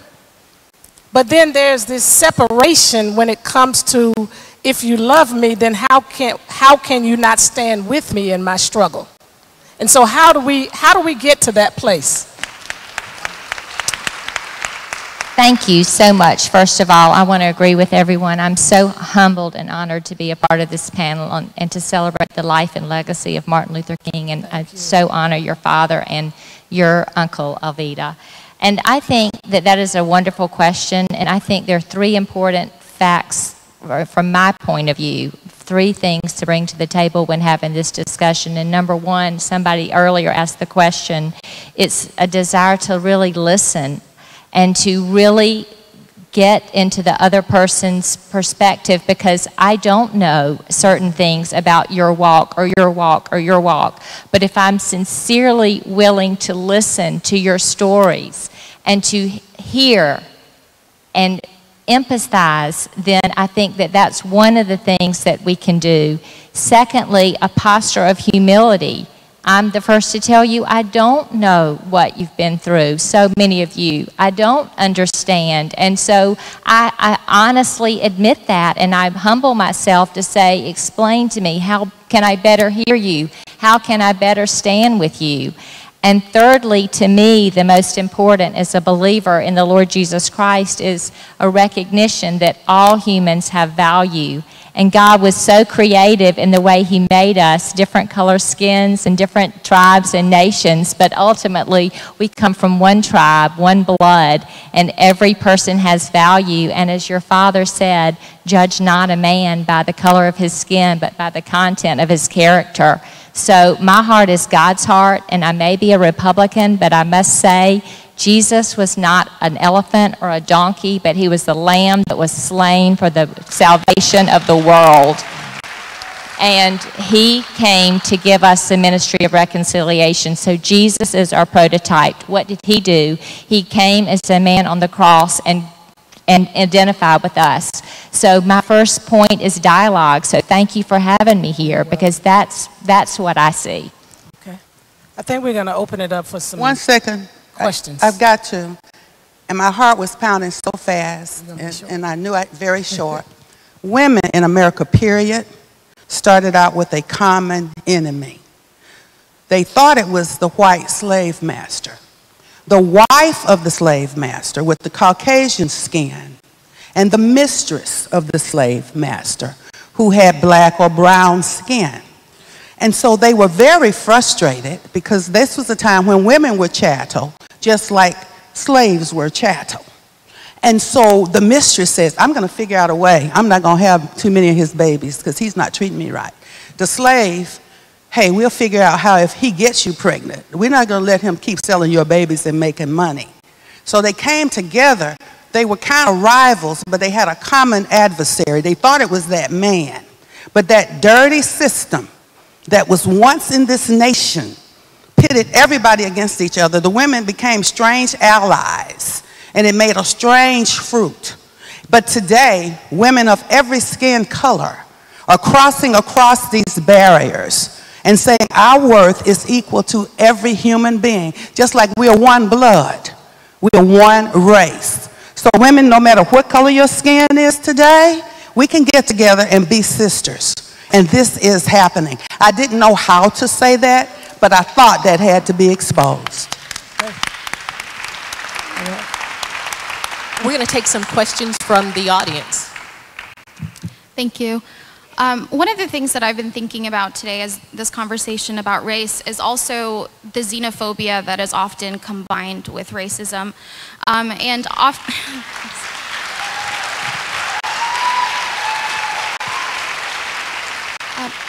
Often I see uh, in faith spaces we talk about compassion and love for one another, but what I'm seeing right now is a lack of compassion when we're talking about real issues. Um, I'm not seeing compassion when we're talking about the arrival of refugees and immigrants from countries.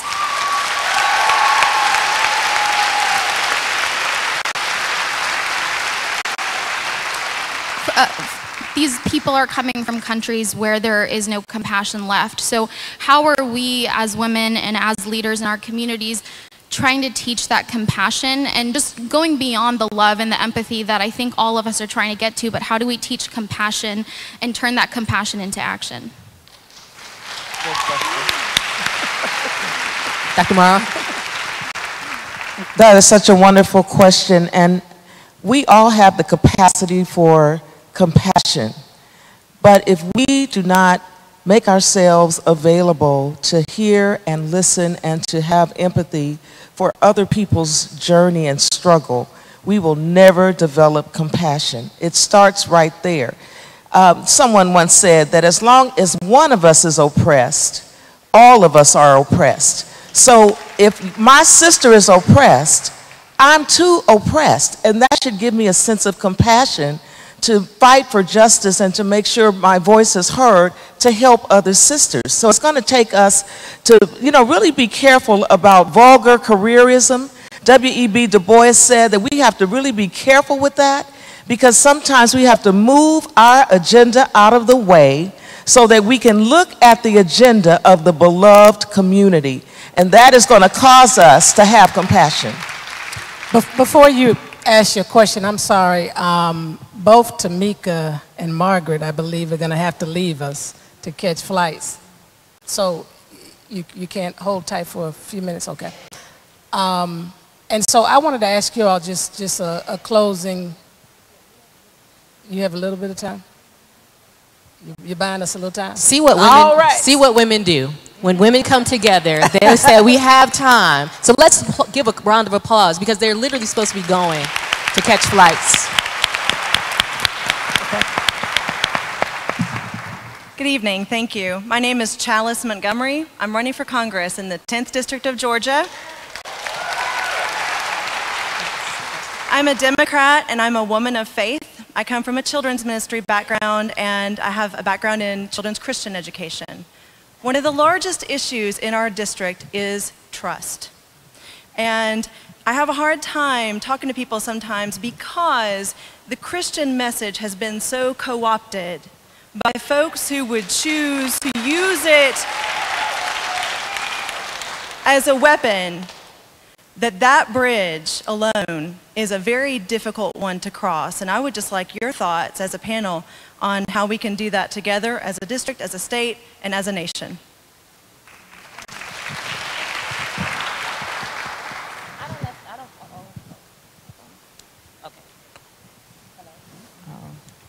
Hello? Okay, great. So I don't necessarily have the best answer for that, but there is, I'm glad you said something was in your spirit. It's certainly something is in mine, and I know that it's in this room. And when you talk about the Christian faith and sort of being used and co opted, this whole thing that I keep hearing, even here in this panel, about us loving one another and being able to sort of, you know, not agree, but still work together.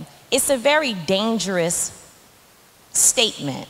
And I'm going to say that because people are literally dying.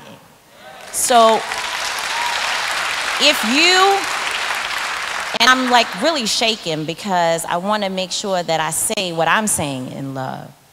But if you support someone who is a person who literally has put my life in danger, I cannot work with you. I don't respect you.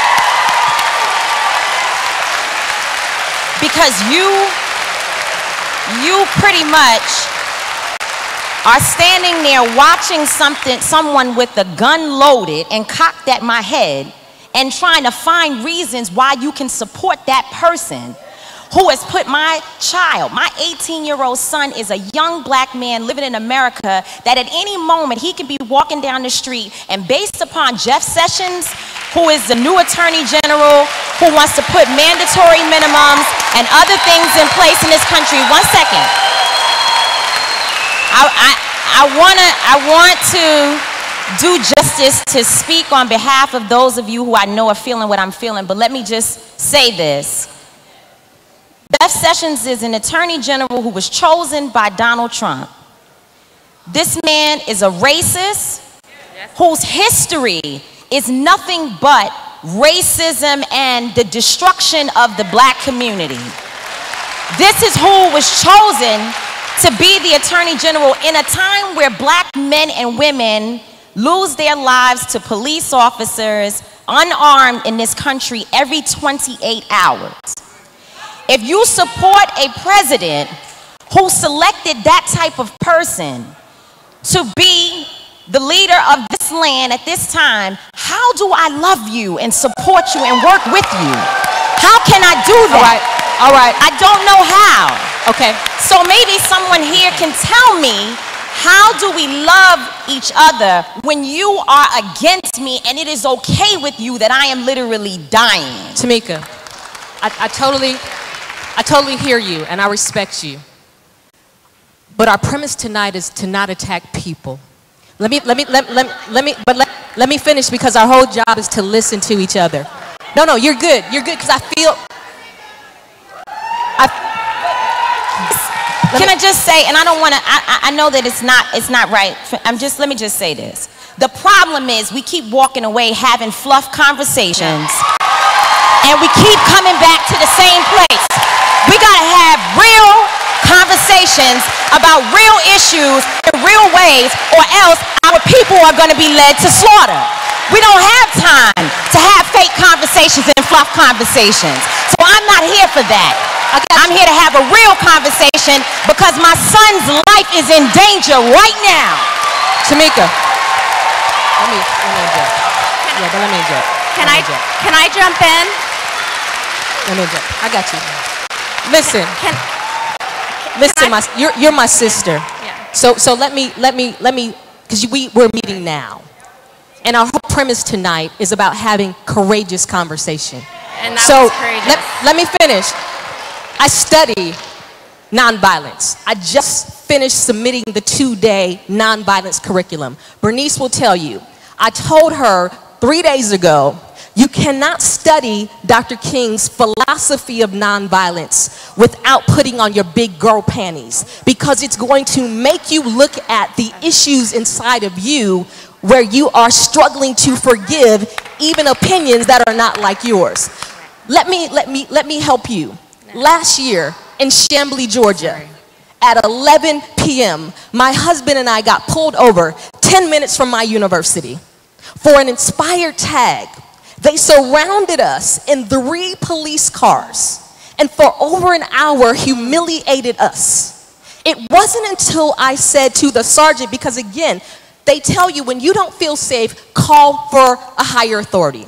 The sergeant was worse than the arresting officer who pulled us over with a broken tail light himself. After an hour of badgering us, I finally said, Sir, it's ironic that you're pulling us over when I'm on CNN International talking about these same issues.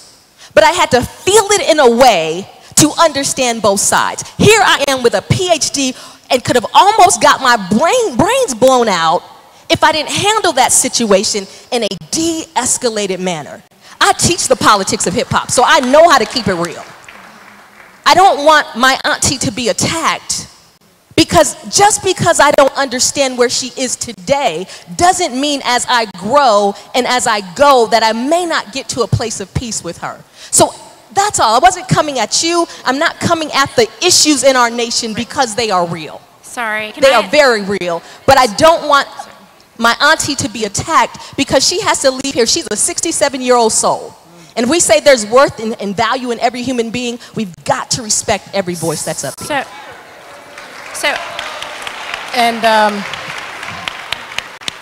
I, I'm just going. I'm going to challenge all of us because this this is difficult, and and there's a there's a lot of pain. Um, I was telling somebody there's a reason why the hospital, when you go to the emergency room, has that chart, pain chart, from zero to ten. They determine the prescription by the level of pain that an individual has, and so while there is pain maybe across the board, there are levels of pain. And there's a context to the pain, as Dr. Morrow said. And so, as we are addressing these very difficult issues, the history of the African American community, the pain that comes out of that community, is not just a history, it's a current pain. And that pain is escalated at number 10. And we have to acknowledge that pain, be true about that pain.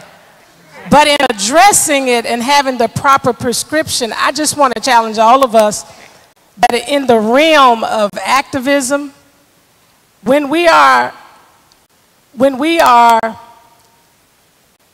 saying or invoking the name of Martin Luther King Jr., we have to be careful. Because Dr. King requires us, and I'm going to say this to me because I hear the pain, I hear the fear, I hear the worry, the anxiety, um, and, and this is real for black America with, without a doubt. But he, his philosophy is based in love. And so if we're going to invoke him, we have to dare to understand him and try to embrace it. Otherwise, we shouldn't invoke him because he taught us that we can love people who hate us and hurt us. He taught us that. It, he embodied that. In fact, I believe Jesus sent him because we forgot about that. And he may have to send somebody else again in fleshly form so that we understand that. And so I hope that you will find it in your heart. Not because she's my cousin, it could be somebody else. That you will find it in your heart to, to love in spite of. Because,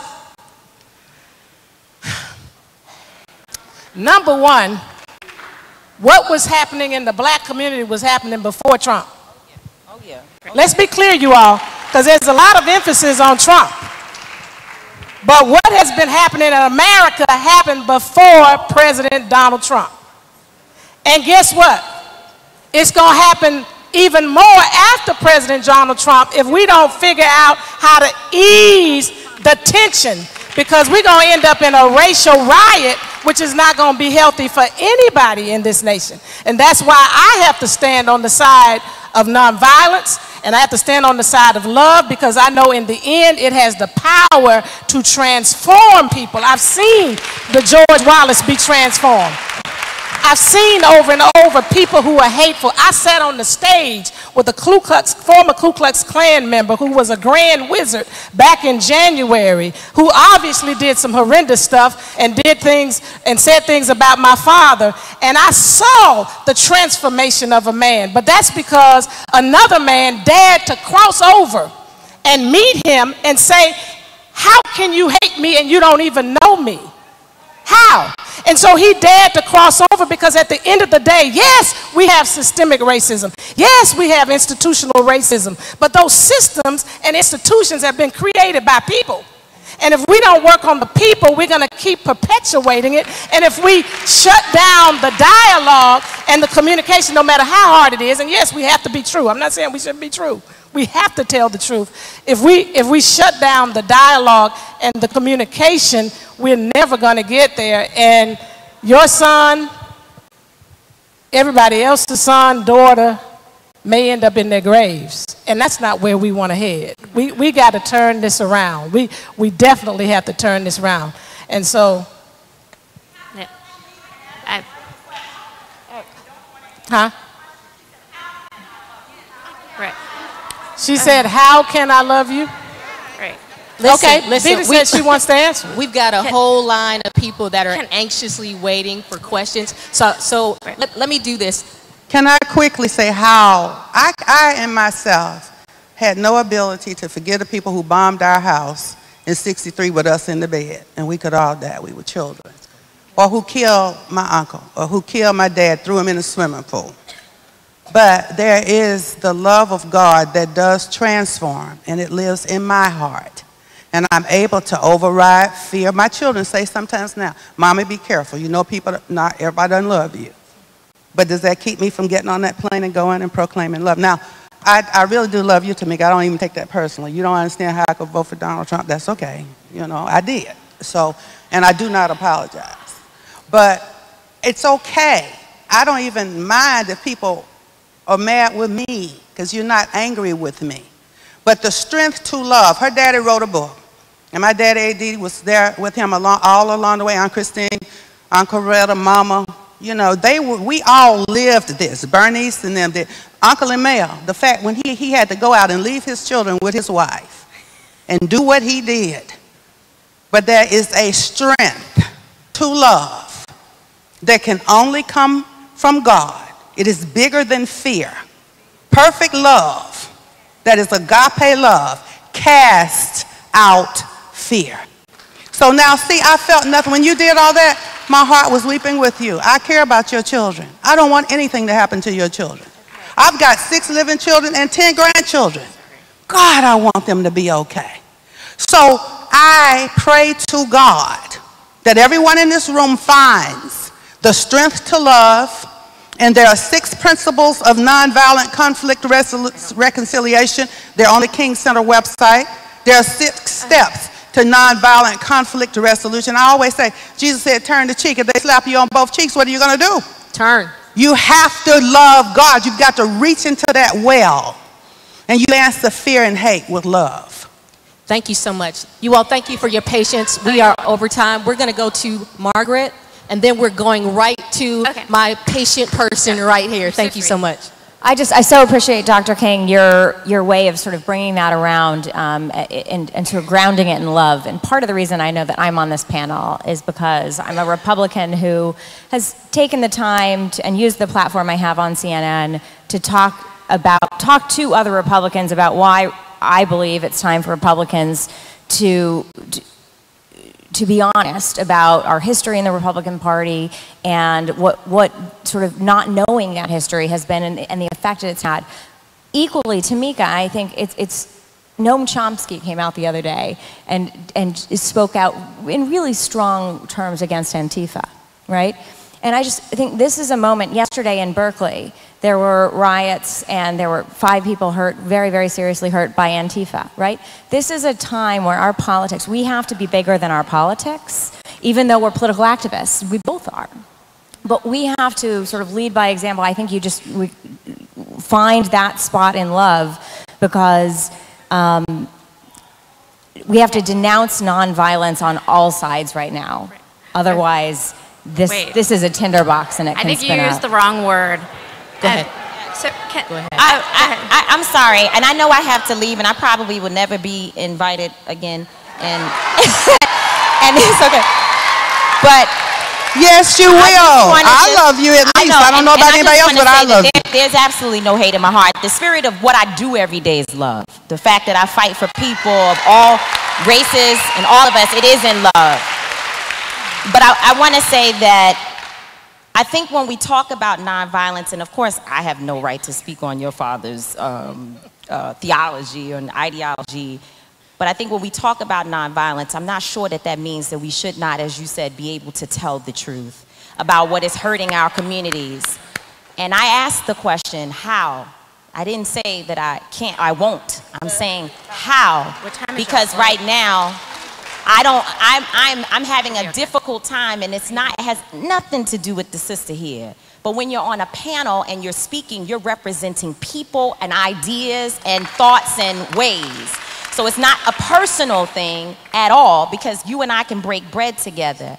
I'm just saying that people who are supporting not a president, because Dr. King, what you said is right. Women's March for me was not about Donald Trump. I never even went there about Donald Trump. If we never said his name, that would have been better for me. But what he represents right now is very dangerous. Mm-hmm. And when people say that they love you, but yet they support that, it is very, it's very difficult and conflicting. And so that's, that's where I'm going to leave it. And I thank you very much for having me here today and love to you all.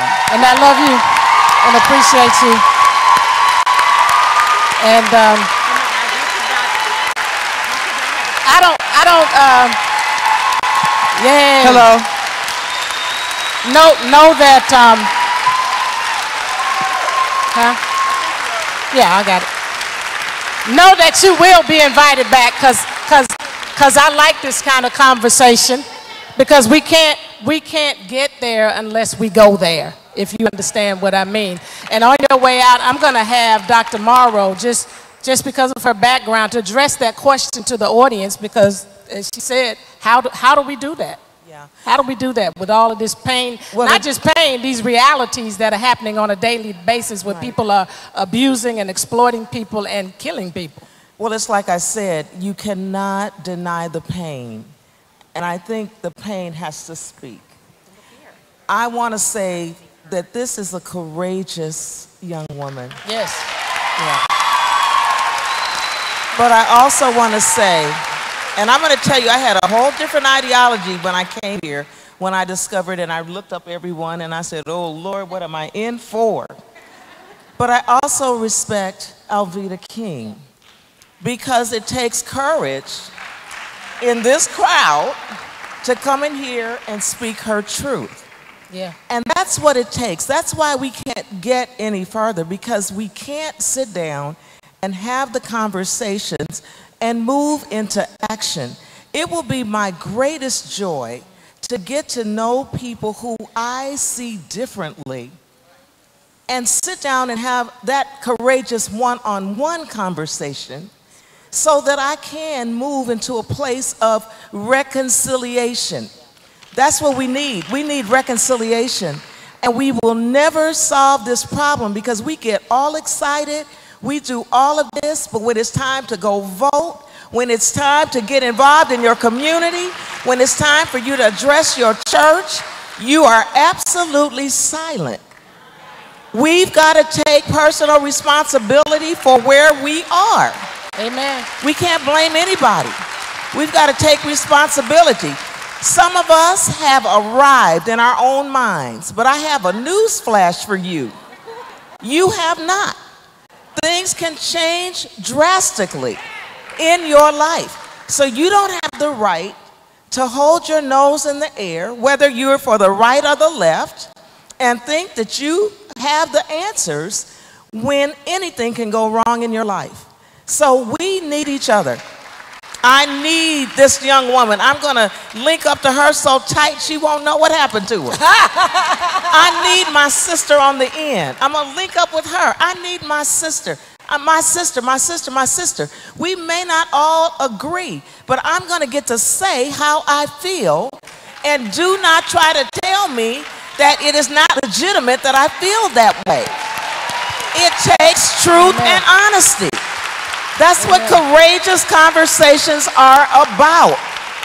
If not, we're just sitting here having another activity. I could be in sunny California, but I'm here tonight. I paid my own way to be here. So I could be in this conversation. Amen. Because this conversation is critical. Folks, our people are dealing with depression, anxiety, the suicide rate for our young people, especially young black males, is alarming.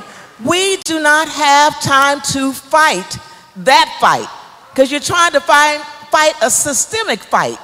We got to get an individual fight going where I say, what can I do? How can I be the solution? And I want to ask all of those who stood up and did all of that, let's all find out what we can do to be part of the solution. Because if not, you are part of the problem.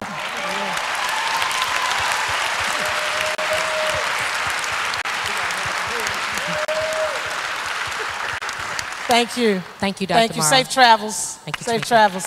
Beta, don't.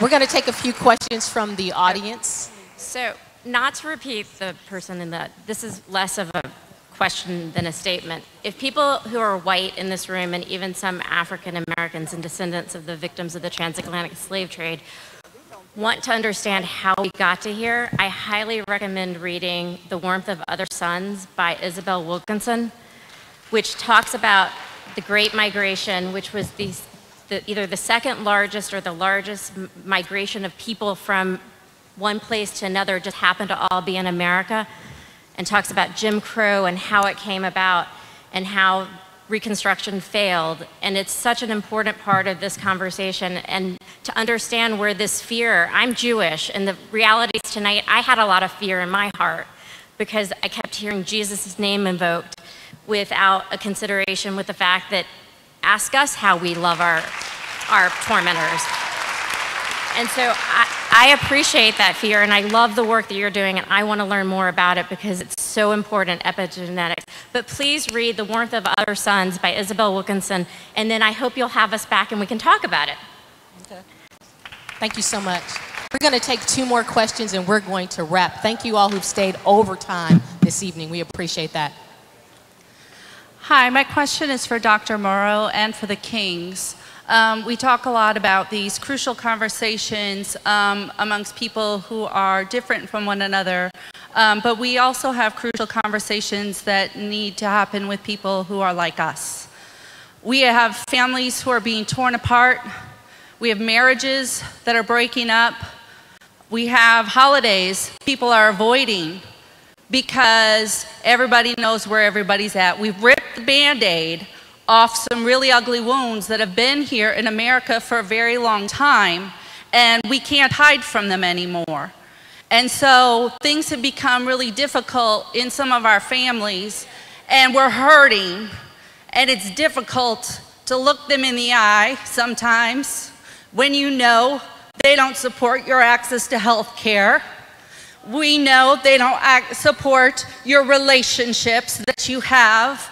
And so, what is your advice to those of us who are having those kinds of pains within our families? And how do you come together as a family and continue to have those conversations and not let it tear you apart? Thank you. We love each other. That's how we do it. We really do love each other. Sometimes that seems we simple, have to right? get help. That seems simple, right? Right. You, you- we do. I, I just dismiss some of her stuff, to be honest with you. Because if I think about it too long, it'll make me mad. And I'm, I'm being very serious about that.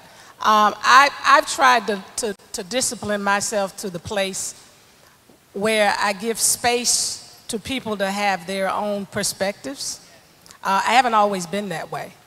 Um, and, and so what I do internally is I listen and hear, but I also recognize that's her world and that's her truth, and it does not have to violate me. That I can still have my beliefs and my, my principles, and what I connect with is where we have things in common. And at the end of the day, I know it sounds simplistic, but because we were raised in a family of love and forgiveness, um, we don't hold those things against one another. And so we can still connect, we can hang out. She, she cooked, I eat her food. Uh, we have a, a, lot, a lot of uh, uh, dialogues. Um, and, um, you know, we, we pray for each other. Uh, and again, I'm not trying to change her. In fact, there may be a reason why all of this is happening to all of us. Um, you know, um, I don't believe it was necessarily, she might disagree with this, I don't believe that it was God's perfect will that President Trump be the president. I do believe that it was his permissive will. Because I have never before We agree on seen that. It was his permissive. I agree people, with you. okay, I've never before seen so many people come together. I mean, we had gotten to a place where we were becoming very complacent and apathetic as a nation, and something had to wake us up. I think we thought we had arrived because we had an African American president, and something had to wake us up and help us find our commonality and our humanity. This is forcing us. These conversations did not take place under President Barack Obama or any other president. But they're taking place now, and this stuff has been hidden under the surface for so many years. And it has to come out. So God had to allow, as He did in biblical times, He put unrighteous judges in place because people had gotten away from certain things to call them back. And so, believe it or not, it could be our blessing in disguise to take us to another level. That doesn't excuse any of the injustice, though. But even sometimes with some of that, that stuff calls us up to a higher level. And that's going to happen generation after generation after generations. Unfortunately, there are always going to be sacrificial lambs. And you have to pray without rancor or hate in your heart. Pray for those who are in authority that we can have a peaceful life. It just so happens I have loved all the presidents. None of them were perfect. I've been in the White House with several of them in an advisory capacity. And I have really, I pray for them exactly the same way. God guide them, give them wisdom, give them grace. And somebody says, well, don't pray that for Trump. He don't need any grace. Well, what in the world? Or don't pray that for President Obama. He doesn't need grace. Is there a person breathing that does not need? Now, I didn't say deserve, but need. It's a human need. Yeah, that's true. Thank you. We're going to take one final question here. Okay. Good evening. My name is uh, Ken Wainwright, and I proudly, proudly want to announce that I have organized almost every anti-Trump protest here in Atlanta, Georgia.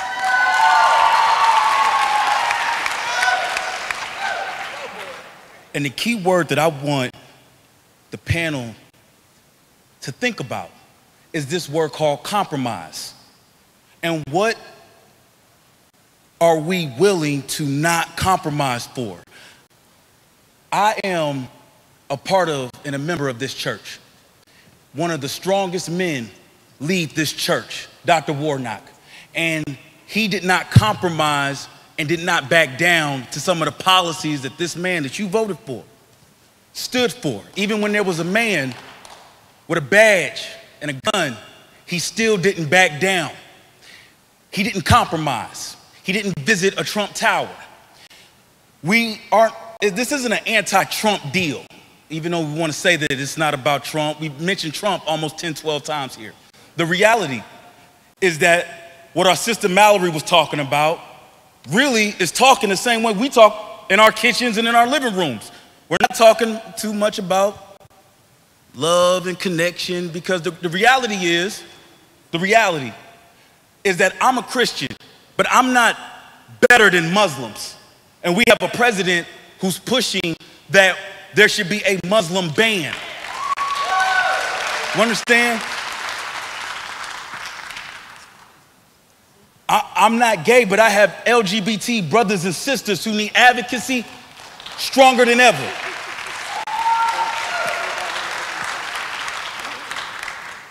Women need advocacy stronger than ever. I understand that. We know what's going on when it comes to domestic violence. We understand what's going on when it comes to the homeless rate, especially in Atlanta. Especially single parent mothers, a product that I'm, I, am involved I, I don't want to. I don't want to interrupt you, sir. But I know we have a, I, yeah, we have let's a question. get to the question. My yeah. question is, and this is what's important. Thank you. This is my question is is a question and a comment. And the question has to deal with the fact that on this level, people who are in this room, what do we do to make sure that the black community is still advancing, that the Muslim community is still advancing, that everyone that has this, this that has been attacked during his campaign gets proper advocacy how do we come together to make sure that these policies that are, that are, that are being created to make people feel less than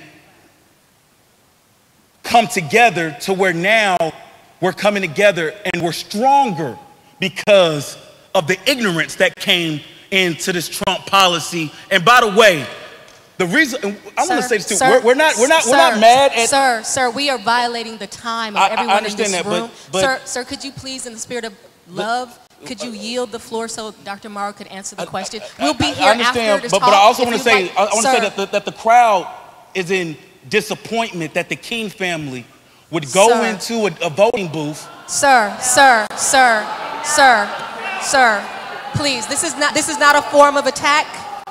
This is a spirit of love. Sir, sir, in all due respect, I went in the voting booth and voted for Hillary Clinton, so that's not the entire King family. Let's okay? just- let's just so, go- so be, what we have to do is make sure that we keep our conversations not attacking people, but No. issues. I said Issues- policies. That, that's fine, but I'm saying, it, again, this is what I want to challenge everybody in the world on. If we're going to invoke Dr. King, we have to practice his way. because otherwise we're being inconsistent. We don't attack the people, we attack the issues, and we do information gathering because you were getting ready to make a statement about King family. You didn't even say a member of, you said And King that would have been family. inaccurate. I said, I said, uh, tr- I God said loves Muslims, Jews, Caucasians, everybody, gay, straight. John 3:16 did not divide anything human. It doesn't. It says God so loved the world. Abraham had two sons, you know, uh, and so and and Adam and Eve had, you know, all Ham, Shem, and Japheth, and that's where all the nations came. Uh, Noah did that. So God loves everybody. And so the blood of Christ was shed for everybody. And we're not going to divide. And we are one human race. We are one blood.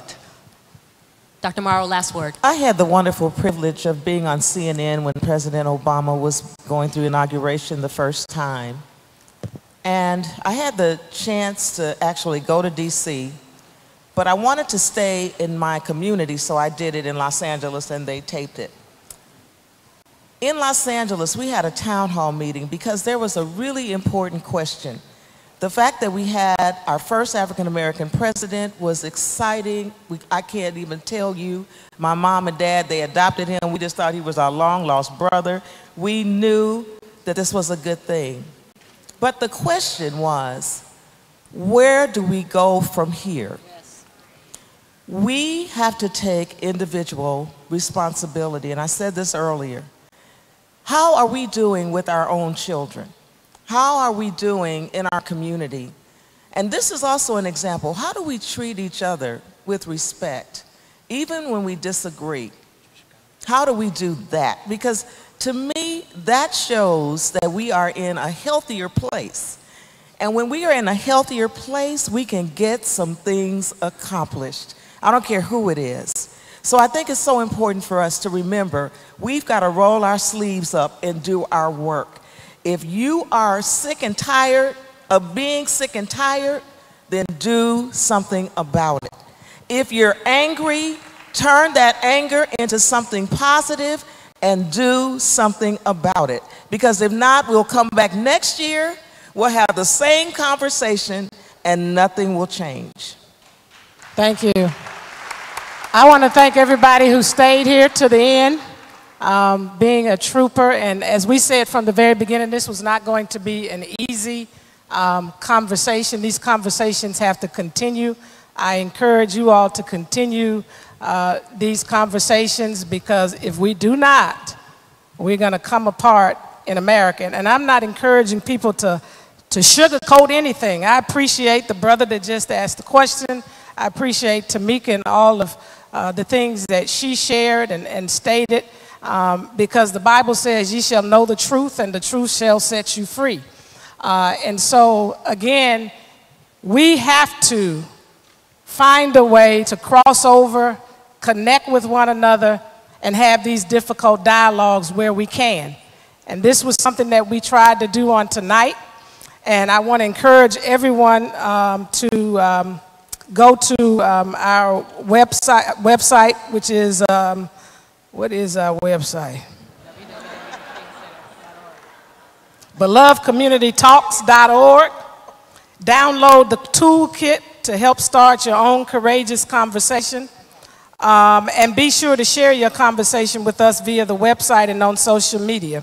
But I want to challenge everybody here who remains. If you have a, if you have a cell phone, uh, we need your support to continue the work similar to what we're doing here tonight. We also do uh, nonviolence education and training, nonviolence 365 education uh, and training in the spirit of my father, Martin Luther King Jr. And so next year, we're going to be uh, commemorating the 50th anniversary of my father's assassination on April 4th, and we're going to do it April 4th through the 9th, and then the King Center's founding, uh, which was June 26, 1968, and we will have activities from June 22nd through the 26th in 2018. And so, in honor of that anniversary, I'm going to ask everybody in here if you would donate $50 to the King Center so that we can continue the great work we're doing in the name of Martin Luther King Jr. and to continue the legacy of Coretta Scott King. And you can text DREAM forward. I know everybody can remember that because we do need to carry the dream forward. And it's 24 37 25. Please don't play that. 24 30. It's too late because somebody already got the big one. 24, 37, 25. I'm going to make you go to sleep with it. 24, 37, 25. Dream forward. Thank you for being here tonight. Thank you for supporting us, and we look forward to seeing you again. Have a good night and a safe night.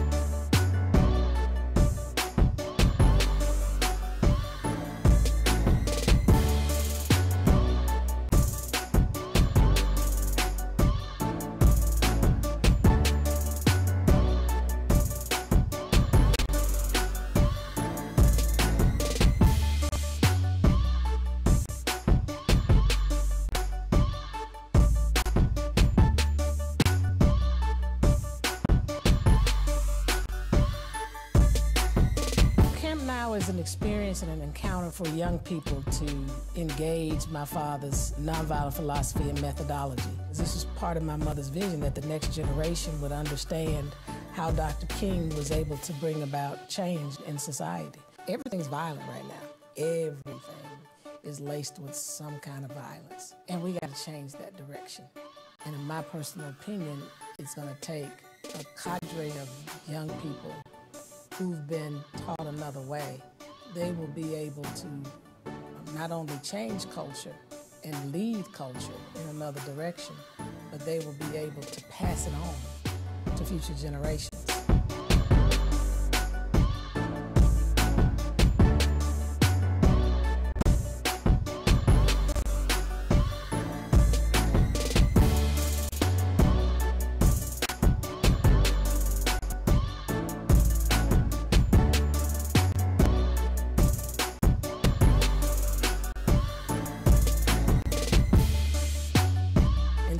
Nonviolence 365 or NV 365 helps us to manage that in a way that we don't destroy each other, that we don't diminish each other or, or denigrate is a, a word that we often use. But we maintain the integrity and character of who we are as human beings.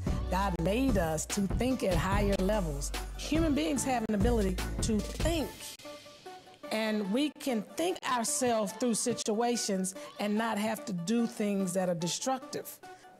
You don't have to just react every time something happens. You really have the capacity in record time, record speed, to think a solution that has a positive and uplifting outcome. We have that capacity as human beings. Use your mind, elevate your mind to a place where you change the dynamics, you change the environment, you change the direction, and you change the trajectory. We want to give these young people those tools to be positive, nonviolent leaders that will change our world for the better and create what we call just, humane, and peaceful society.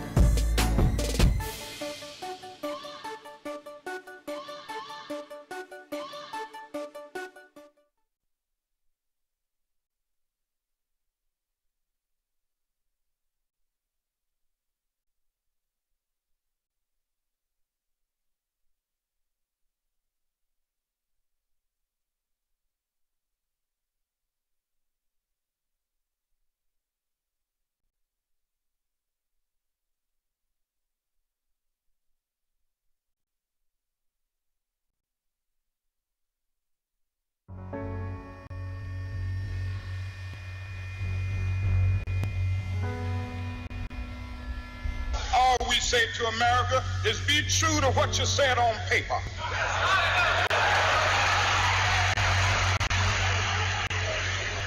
But somewhere I read of the freedom of assembly. Somewhere I read of the freedom of speech. Somewhere I read of the freedom of press. Somewhere I read that the greatness of America is the right to protest far right.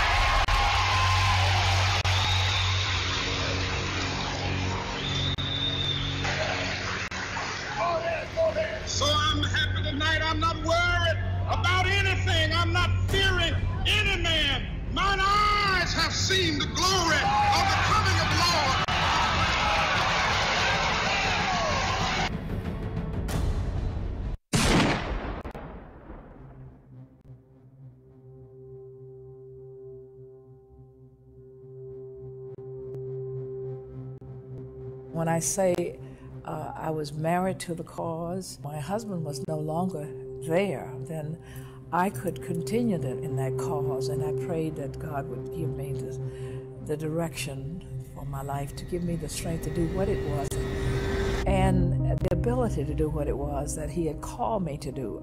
And I was trying to seek what is it that I'm supposed to do now that Martin is no longer here.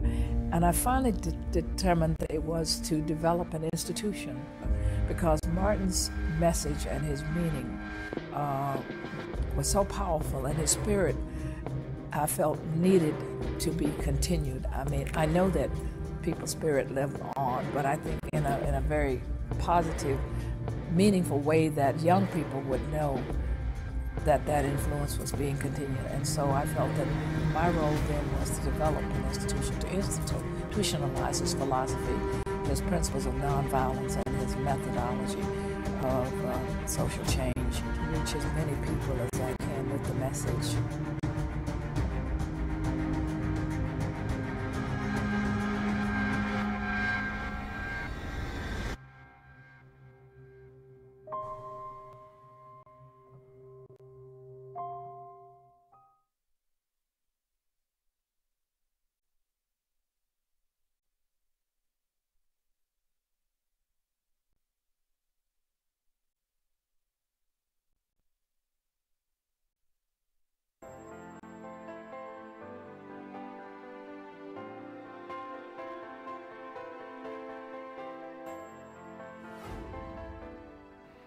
People assume we already have everything we need. It's already established. um, and it's just not true. We are a 501c3, like every other 501c3 um, in America.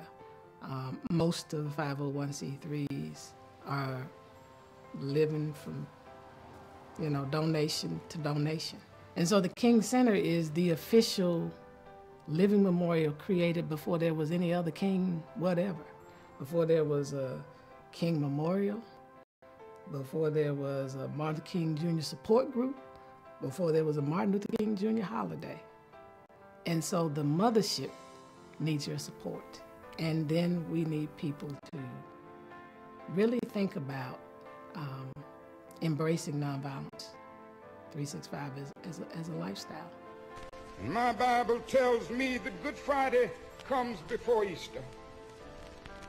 For the crown we wear, there is the cross that we must bear. Let us bear it.